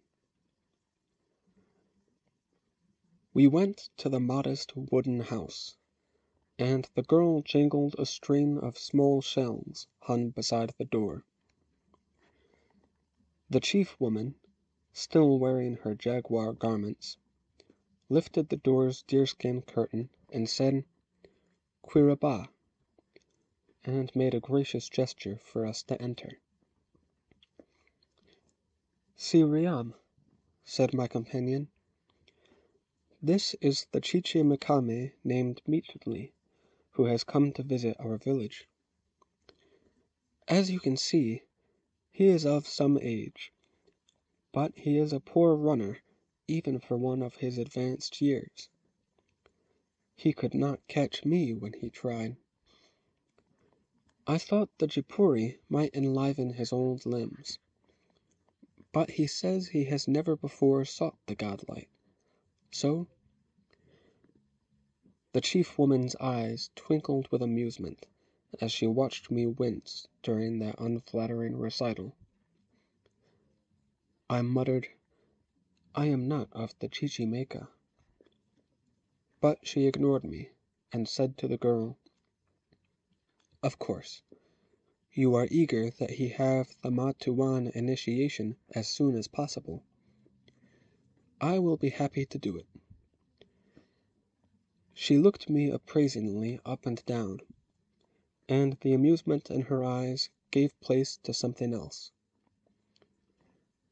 Whatever his years, this Mixtli seems an estimable specimen, especially considering his base origins.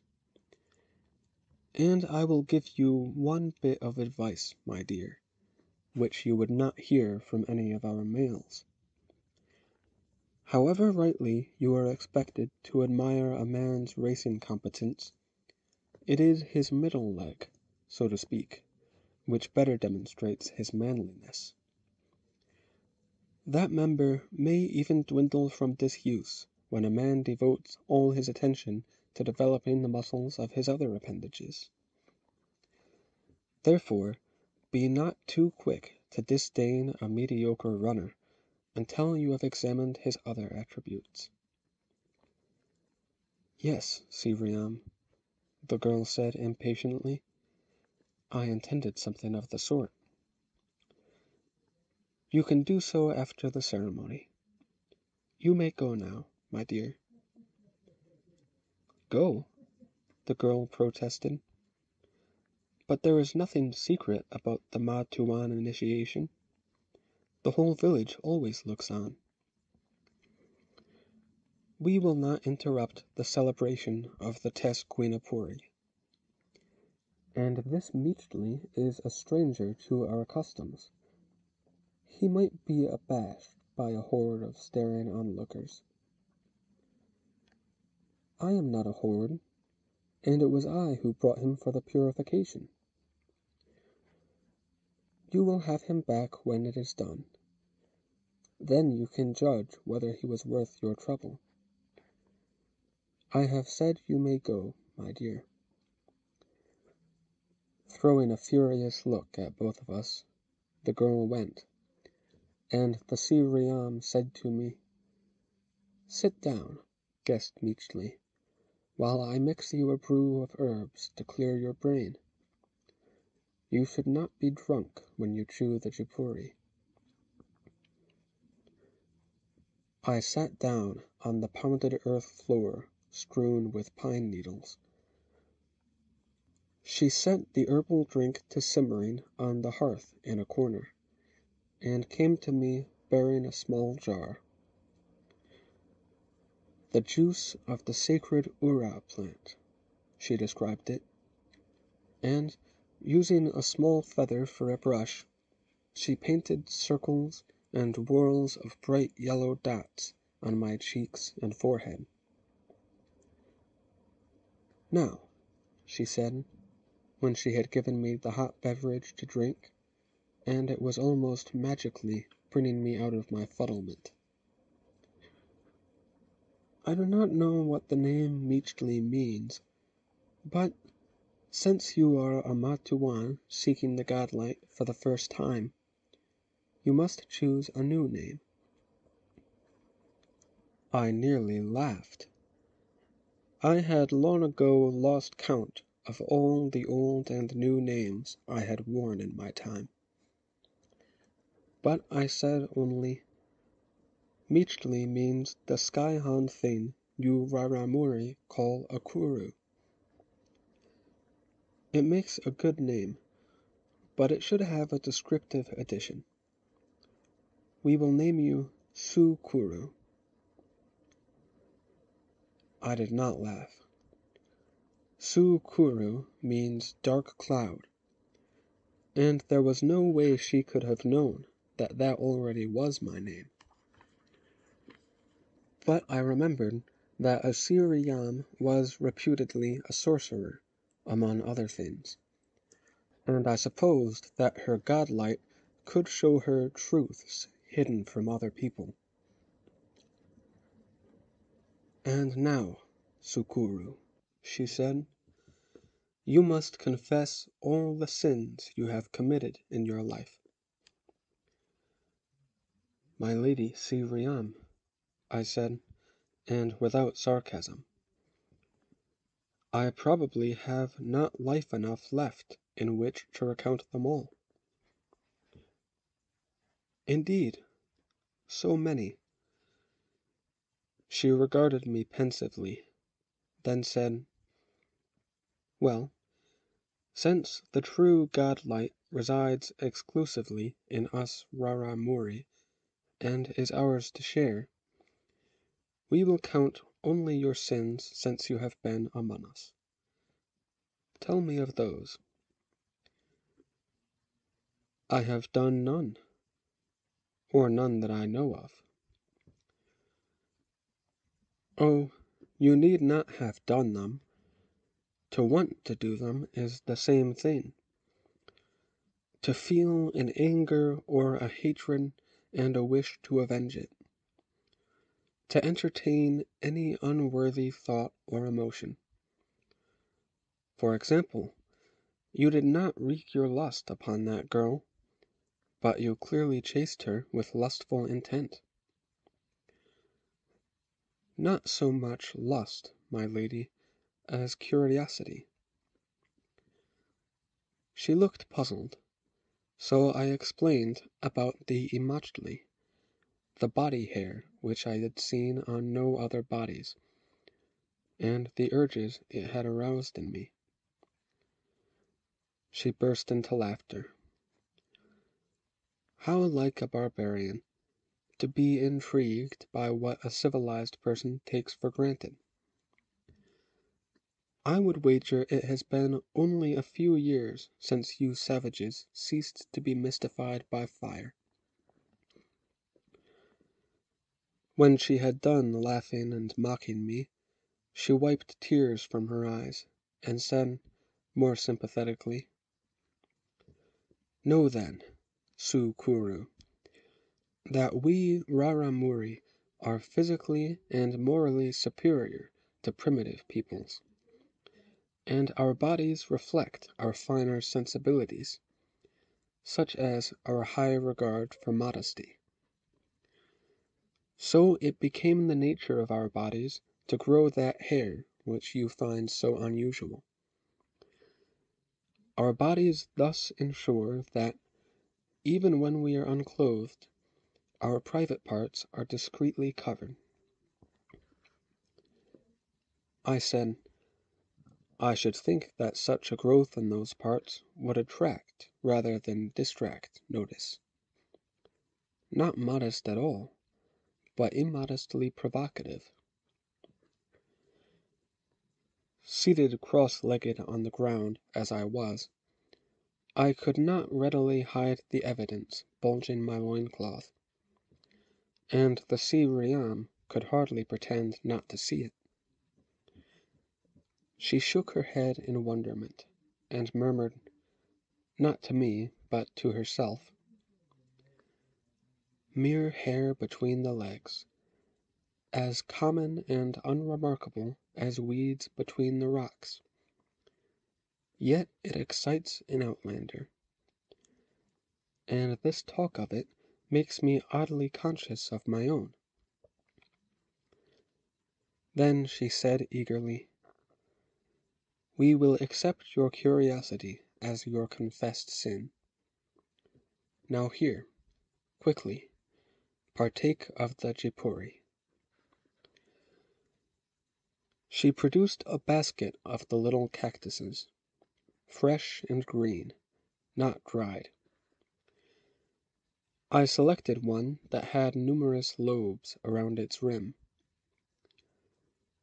No, take the five-petaled one, she said. The many-scalloped jipuri is for everyday consumption to be chewed by runners who must make a long run, or by idlers who merely wish to sit and bask in visions. It is the five-petaled jipuri, the more rare and hard to find, that lifts one closest to the godlight. So I bit a mouthful of the cactus she handed me. It had a slightly bitter and astringent flavor, and she selected another for herself, saying, Do not chew as fast as I do, Matuman Sukuru. You will feel the effect more quickly because it is your first time, and we should keep pace with each other. She was right. I had swallowed very little of the juice when I was astounded to see the walls of the house dissolving from around me. They became transparent. Then they were gone, and I saw all the villagers outside, variously engaged in the games and feasting of the Tesquinapuri. I could not believe that I was actually seeing through the walls, for the figures of the people were sharply defined, and I was not using my topaz. The too clear vision had to be an illusion caused by the Jipuri. But in the next moment I was not so sure. I seemed to float from where I sat, and I rose to and through the roof, or where the roof had been.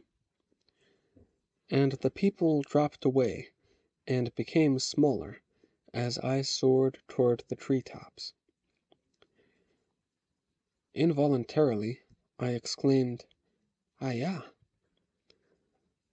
The Siriam, somewhere behind or below me, called, Not too fast. Wait for me.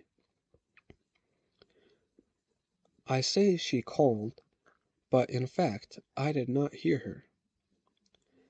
I mean to say, her words came not into my ears, but somehow into my own mouth, and I tasted them. Smooth, delicious, like chocolate. Yet in some manner I understood them by their flavor. Indeed, all my senses seemed suddenly to be exchanging their usual functions. I heard the aroma of the trees and the cook fire's smoke that drifted up among the trees as I was drifting. Instead of giving off a leafy smell, the tree's foliage made a metallic ringing. The smoke made a muffled sound like a drumhead being softly stroked. I did not see, I smelled the colors about me. The green of the trees seemed not a color to my eyes, but a cool, moist scent in my nostrils. A red petaled flower on a branch was not red, but a spicy odor. The sky was not blue, but a clean, fleshy fragrance like that of a woman's breasts. And then I perceived that my head was really between a woman's breasts, and ample ones. My sense of touch and feeling was unaffected by the drug. The Siriam had caught up to me, had thrown open her jaguar blouse, had clasped me to her bosom, and we were rising together toward the clouds. One part of me, I might say, was rising faster than the rest. My tepuli had already been earlier aroused, but it was getting even longer, thicker, harder, throbbing with urgency, as if an earthquake had occurred without my notice. The Siriam gave a happy laugh. I tasted her laughter, refreshing as raindrops, and her words tasted like kisses. That is the best blessing of the godlight, Sukuru. The heat and glow it adds to the act of Ma Rakame. Let us combine our God given fires. She unwound her jaguar skirt and lay naked upon it, or as naked as a woman of the Raramuri could get, for there truly was a triangle of hair pointing from her lower abdomen down between her thighs.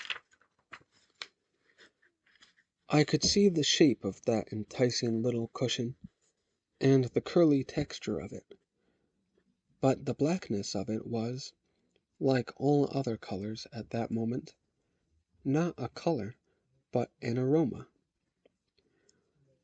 I leaned close to inhale it, and it was a warm, humid, musky scent.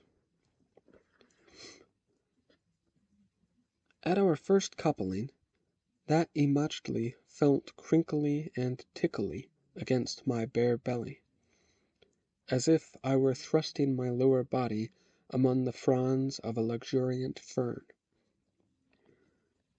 But soon, so quickly did our juices flow, the hair became wet and yielding, and, if I had not known it was there, I would not have known it was there.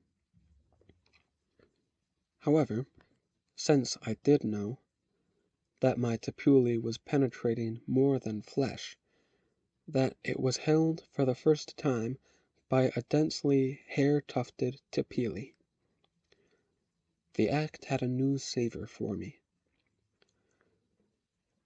No doubt I sound delirious in the telling of it. But delirious is what I was. I was made giddy by being at a great height, whether it was reality or illusion. By the oddity of sensing a woman's words and moans and cries in my mouth, not my ears by the sensing of her skin's every surface and curve and gradation of color as a suddenly distinct fragrance. Meanwhile, each of those sensations, as well as our every move and touch, was enriched by the effect of the Jipuri. I suppose also I felt a tinge of danger and danger makes every human sense more acute, every emotion more vivid. Men do not ordinarily fly upward to a height. They more often fall down from one, and that is often fatal. But the Siriam and I stayed suspended, with no discernible floor or other support beneath us. And being unsupported, we were also unencumbered by any support. So we moved as freely and weightlessly as if we had been under water, but still able to breathe there. That freedom in all dimensions enabled some pleasurable positions and coilings and intertwinings that I would otherwise have thought impossible. At one point the Siriam gasped some words, and the words tasted like her ferned Tepili. I believe you now, that you could have done more sins than you could tell. I have no idea how often she came to climax, and how many times I ejaculated during the time the drug held us aloft and enraptured.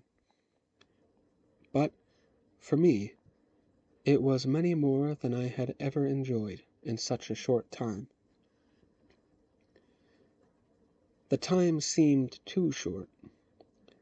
I became aware that I was hearing, not tasting, the sounds, when she sighed, "Do not worry, Sukuru, if you do not ever excel as a runner."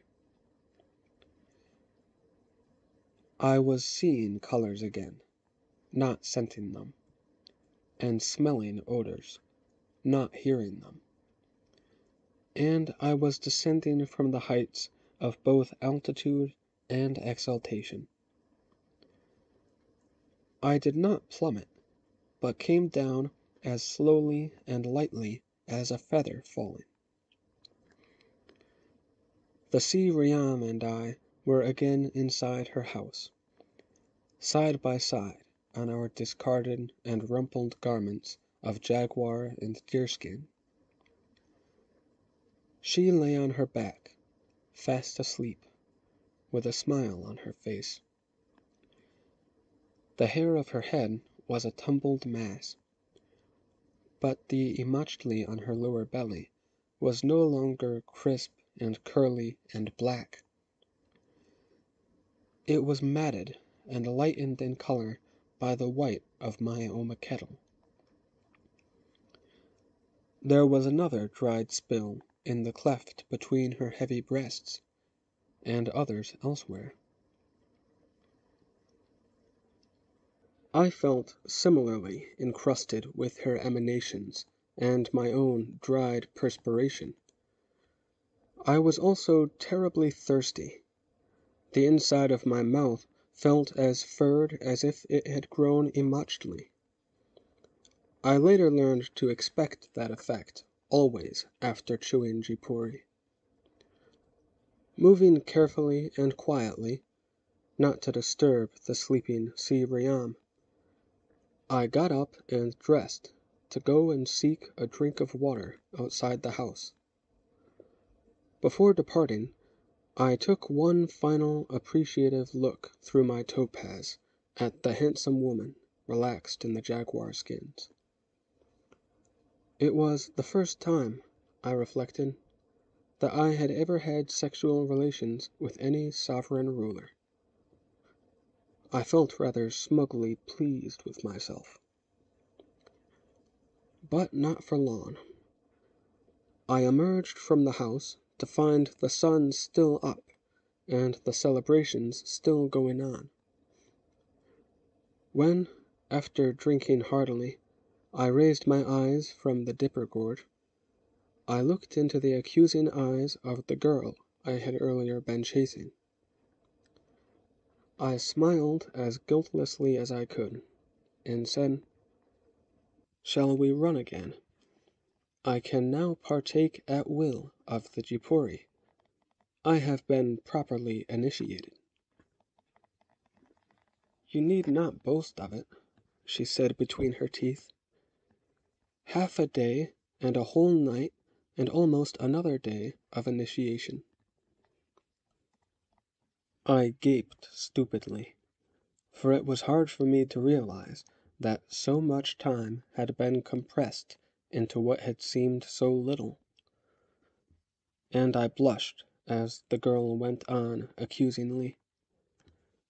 She always gets the first and the best Ma Rakame of the God Enlightened and it is not fair. I do not care if I am called rebellious and irreverent. I have said before, and I say again, that she only pretended to receive the godlight from the grandfather and the mother and the brother. She lied to be chosen as the Siriam, only so she can claim first right to every Matuane she happens to favor.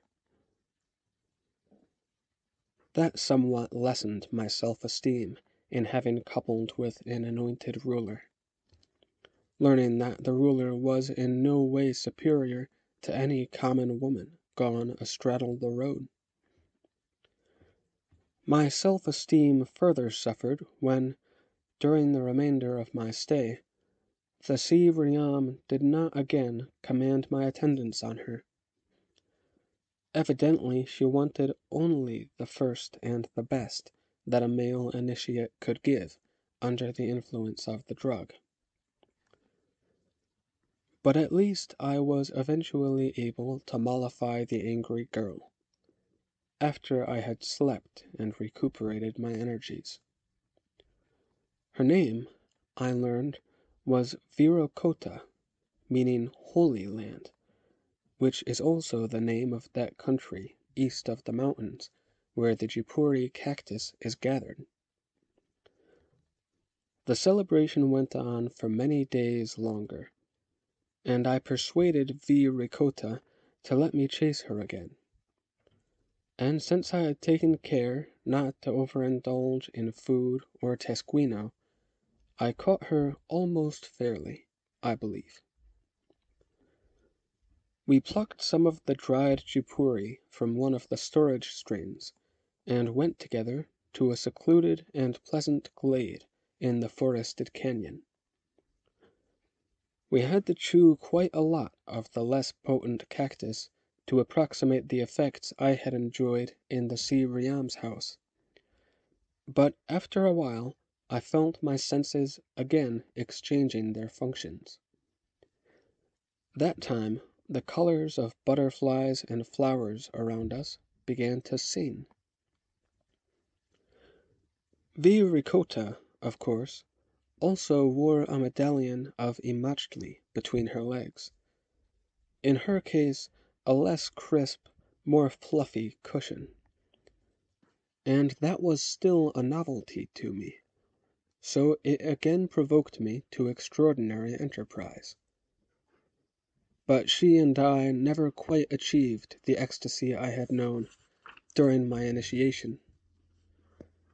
We never had the illusion of ascending skyward, and we were conscious at all times of the soft grass on which we lay. Also, Ricotta was really very young, and small even for her age, and a female child simply cannot spread her thighs far enough that a man's big body can get close enough to penetrate her to the full length of his tepui. All else aside, our coupling had to be less memorable than what the Siriam and I had done together, because V. Ricotta and I did not have access to the fresh, green, five-petaled, real godlight Jipuri. Nevertheless, that young female and I suited each other well enough that we consorted with no other partners during the remainder of the festival, and we indulged many times in the Ma Rakame. And I felt a genuine regret at parting from her when the Tesquinapuri concluded. We parted only because my original host Testisora insisted, "It is time now for the serious running, Sukuru, and you must see it. The Ra Rajipuri, the race between the best runners of our village and those of Guachochi." I asked, "Where are they? I have seen no strangers arriving." "Not yet. They will arrive after we have gone, and they will arrive running. Guachochi is far to the southeast of here." He told me the distance, in the Raramuri words for it, which I forget. But I remember that it would have translated as more than fifteen Mexica one long runs, or fifteen of your Spanish leagues. And he was speaking of the distance in a straight line, though in actuality any race in that rugged country has to follow a tortuous course around and between and through ravines and mountains. I calculated that in total the running distance from Gagwe Bo to Guachochi must have been nearer fifty one long runs. Yet, Testisora said casually, to run from one village to the other, and back again, kicking the wooden ball all the way, takes a good runner one day and one night.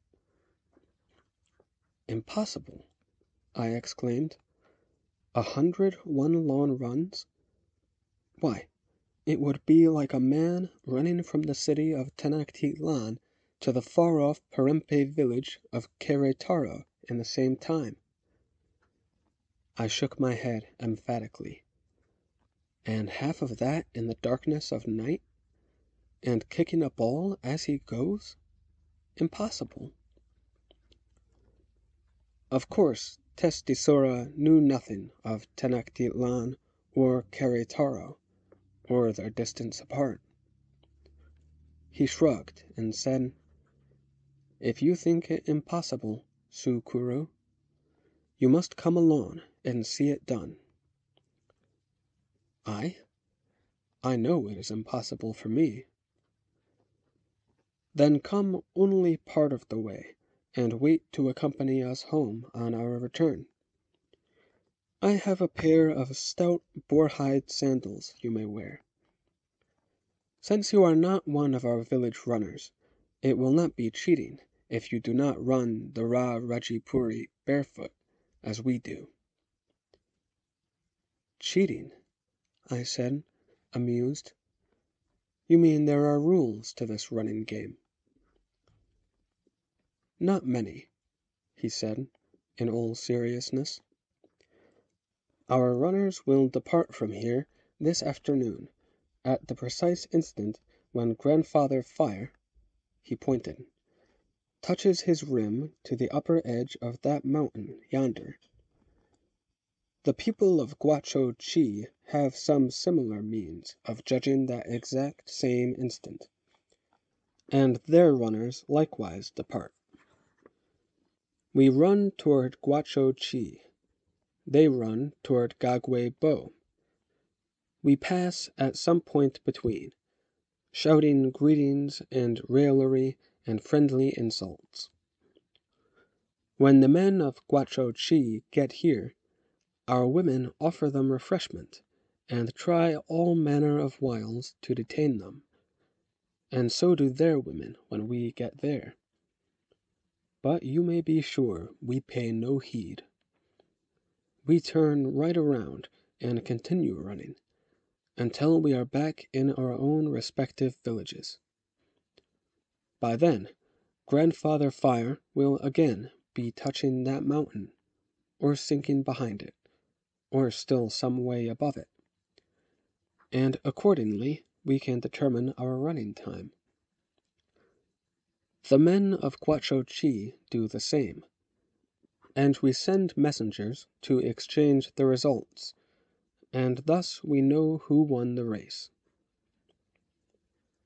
I said, For all that expenditure of time and effort, I hope the winner's prize is something worth while.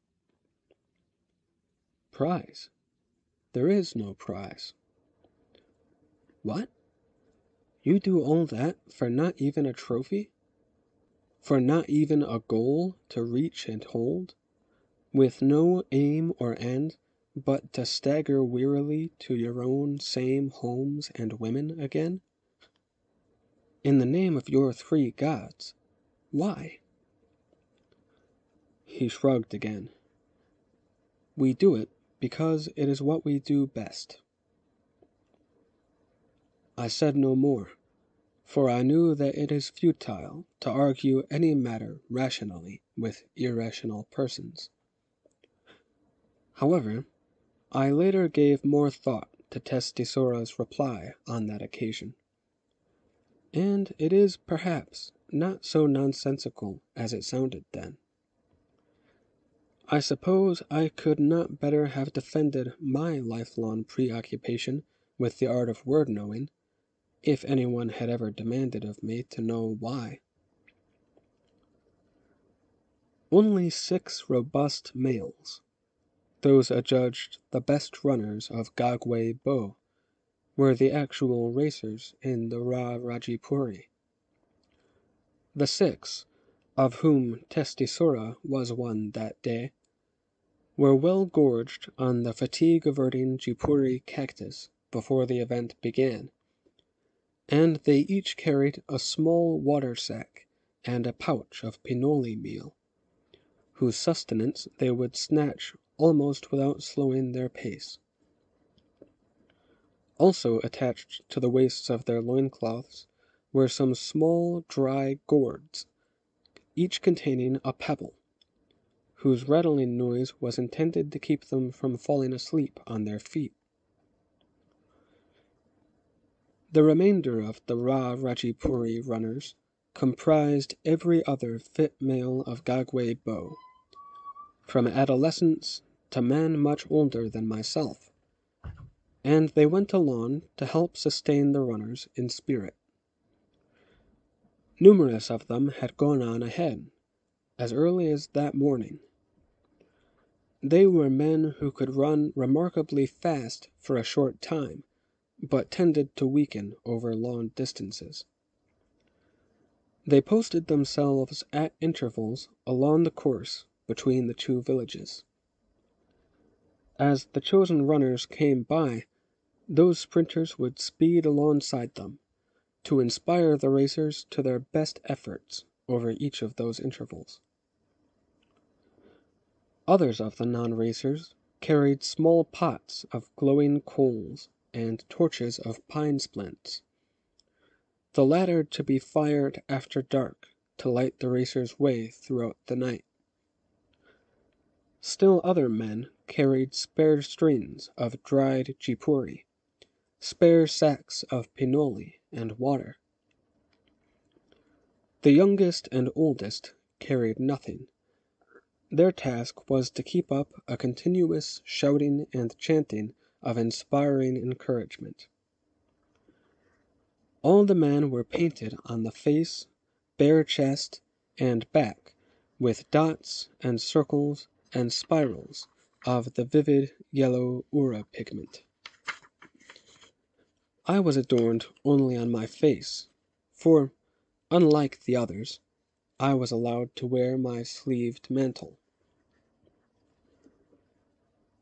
As Grandfather Fire settled toward the designated mountain in the late afternoon, the Siriam came smiling to the door of her house, wearing her regalia of jaguar skins, holding in one hand her silver knobbed staff and in the other the yellow painted wooden ball the size of a man's head.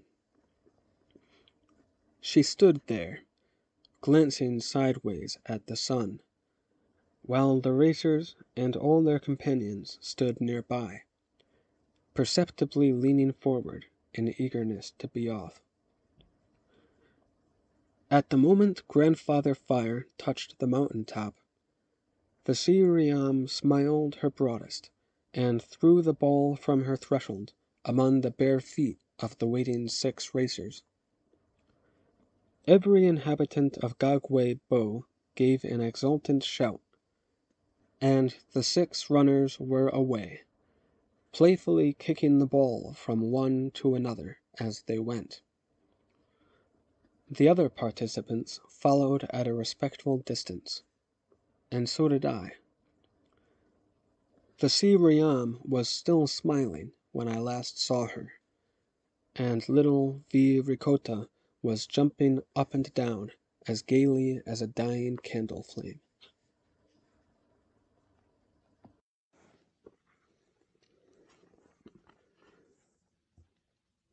I had fully expected the whole crowd of runners to outdistance me in a moment. But I should have guessed that they would not put all their energy into a headlong rush at the very start of the run. They set off at a moderate lope which even I could sustain. We went along the canyon riverside, and the cheering of the village women, children, and old folks faded behind us and our own shouters began whooping and bellowing. Since the runners naturally avoided having to kick the ball uphill whenever possible, we continued along the canyon's bottom until its sides sloped and lowered sufficiently for us to climb easily out of it and into the forest to the south. I am proud to report that I stayed with the racers for what I estimate to have been a full third of the way from Gagwe Bo to Guachochi. Perhaps the credit should go to the Jipuri I had chewed before starting, for several times I found myself running faster than I ever have done in my life before or since that race. Those were the times when we came up to the posted sprinters and did our best to match their bursts of speed. And several times we passed the sprinters from Guachochi, they standing, not yet running, stationed to await the coming of their own racers from the opposite direction. Those competitors shouted cheerfully scornful names at us as we went by them. Laggards and limpers and the like, especially at me, because by then I was trailing the rest of the Gagwe Bo contingent.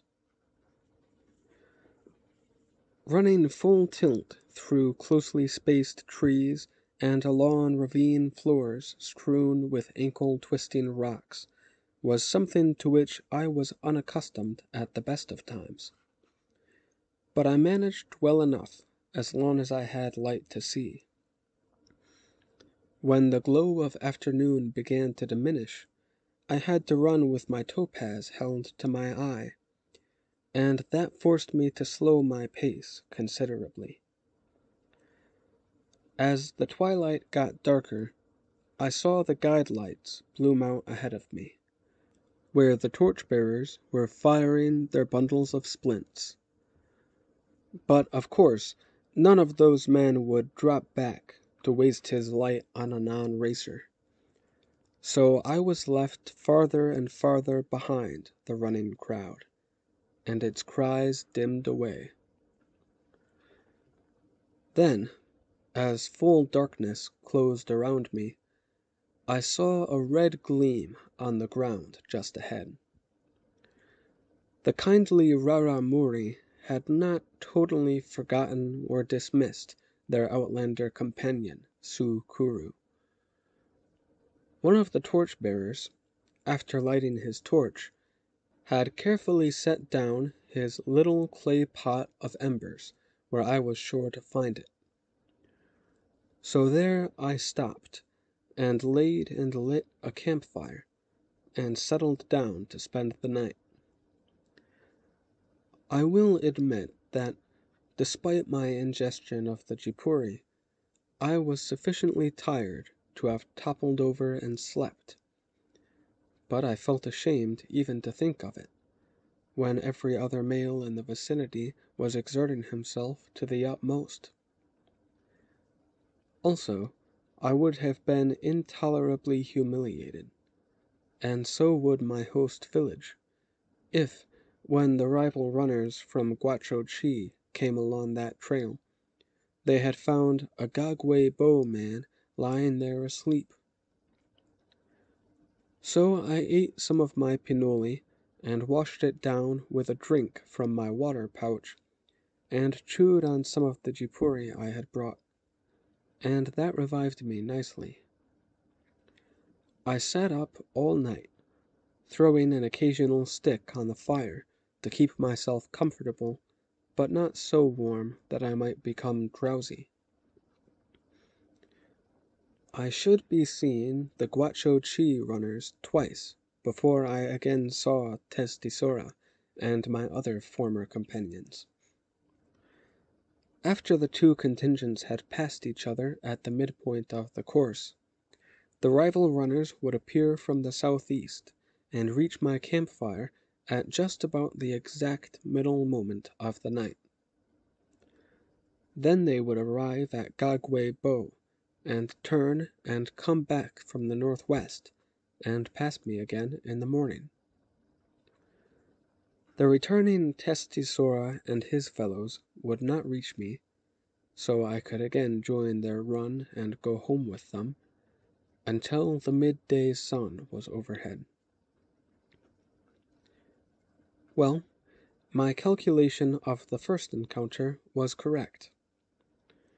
With the aid of my topaz I kept watch of the stars, and, according to them, it was the middle of the night when I saw bobbing blobs of firelight coming from the southeast. I decided to pretend that I was one of Gagwe Bo's posted sprinters, so I was on my feet, looking alert, before the first of the ball-kicking runners came in sight and I began to shout, Laggards, limpers. The racers and their torchbearers did not shout back. They were too busy keeping their eyes on the wooden ball, which had lost whatever paint it had worn and was looking rather splintery and shredded. But the company of other Guachochi runners returned my taunts, yelling, Old woman, and warm your weary bones, and such. And I realized that my having laid a fire made me, in Raramuri estimation, seem something less than manly. But it was too late then to douse the fire, and they all dashed past and became again just wavery red lights, dwindling to the northwestward. After another long time, the sky in the east lightened, and finally Grandfather Fire made his reappearance. And more time passed, while, as slowly as any aged human grandfather, he crept a third of the way up the sky. It was breakfast time, and, by my calculations, time for the Guachochi men to be returning on their homeward run. I faced the northwest, where I had last seen them. Since in daylight there would be no torches to signal their coming, I strained my ears to hear them before they were in sight. I heard nothing. I saw nothing. More time passed. In my mind I went over my reckoning, to find where I had miscalculated. But I could perceive no error. More time passed. I searched my mind to remember whether or not Testisora had ever said anything about the racers taking different routes on their return runs. More time passed, and the sun was almost directly overhead, when I heard a hail. Quiraba! It was a man of the Raramuri, wearing only a runner's loincloth and waist pouches and yellow designs on his bare skin. But he was no one I recalled ever having seen before, so I took him to be one of Guachochi's outpost sprinters. Evidently he took me to be a Gagwe Bo counterpart, for, when I had returned his greeting, he approached me with a friendly but anxious smile, and said.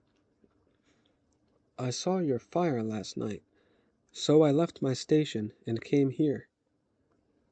Tell me confidentially, friend, how did your people arrange to detain our runners in your village?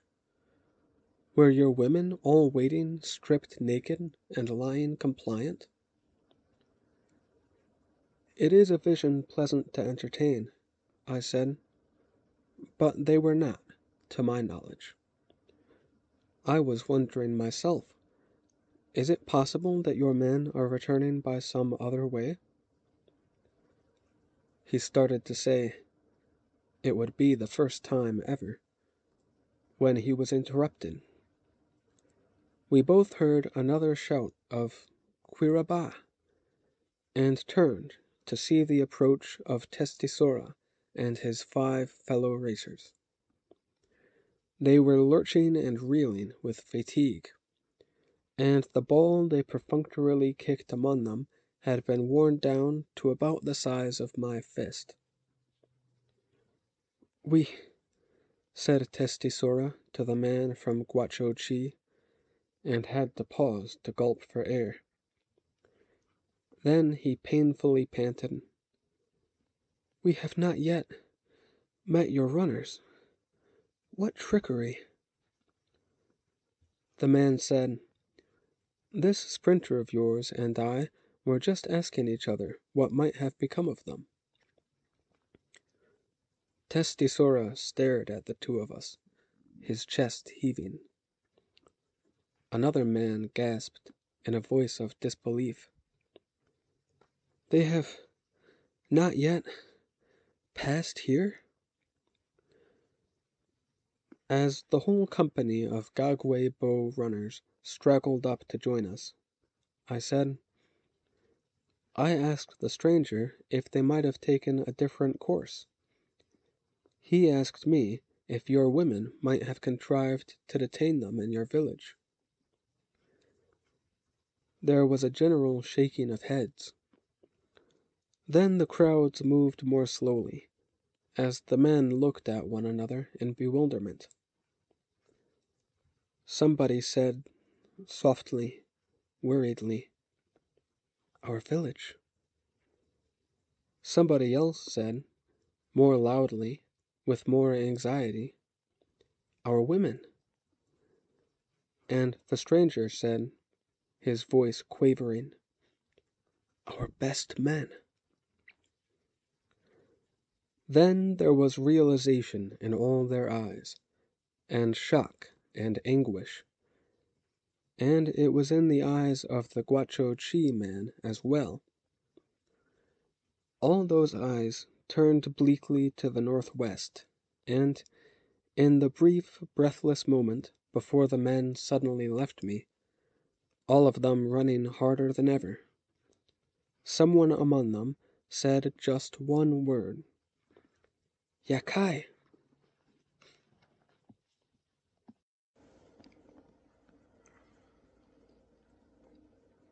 No, I did not follow them to Gagwe Bo.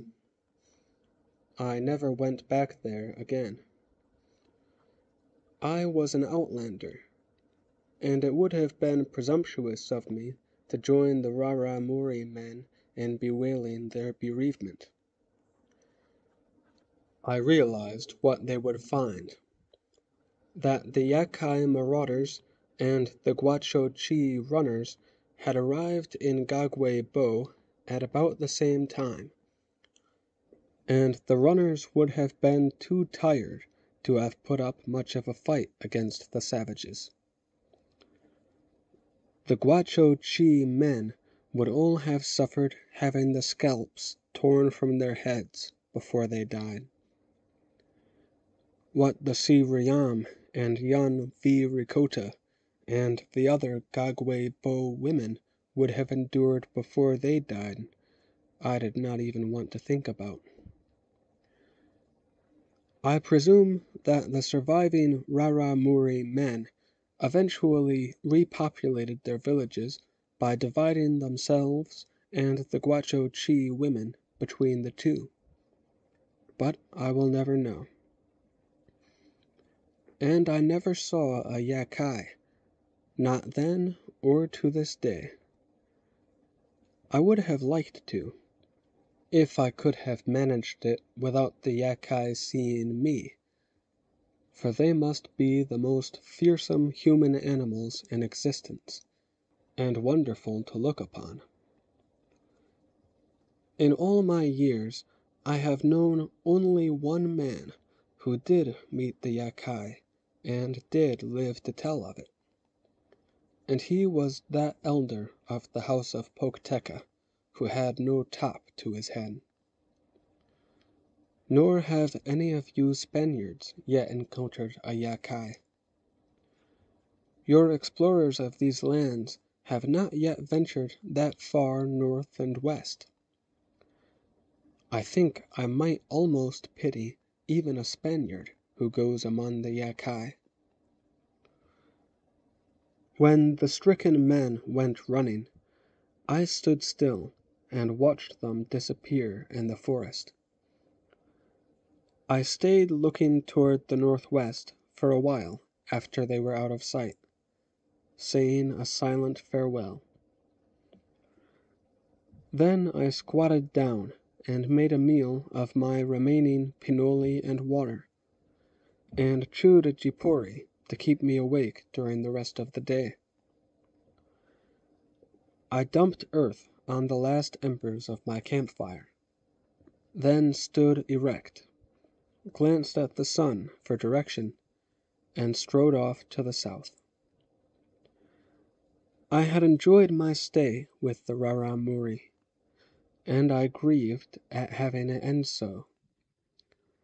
But I wore good clothing of deerskin and sandals of boarhide, and I had leather pouches in which to carry food and water, and I had a flint blade at my waist.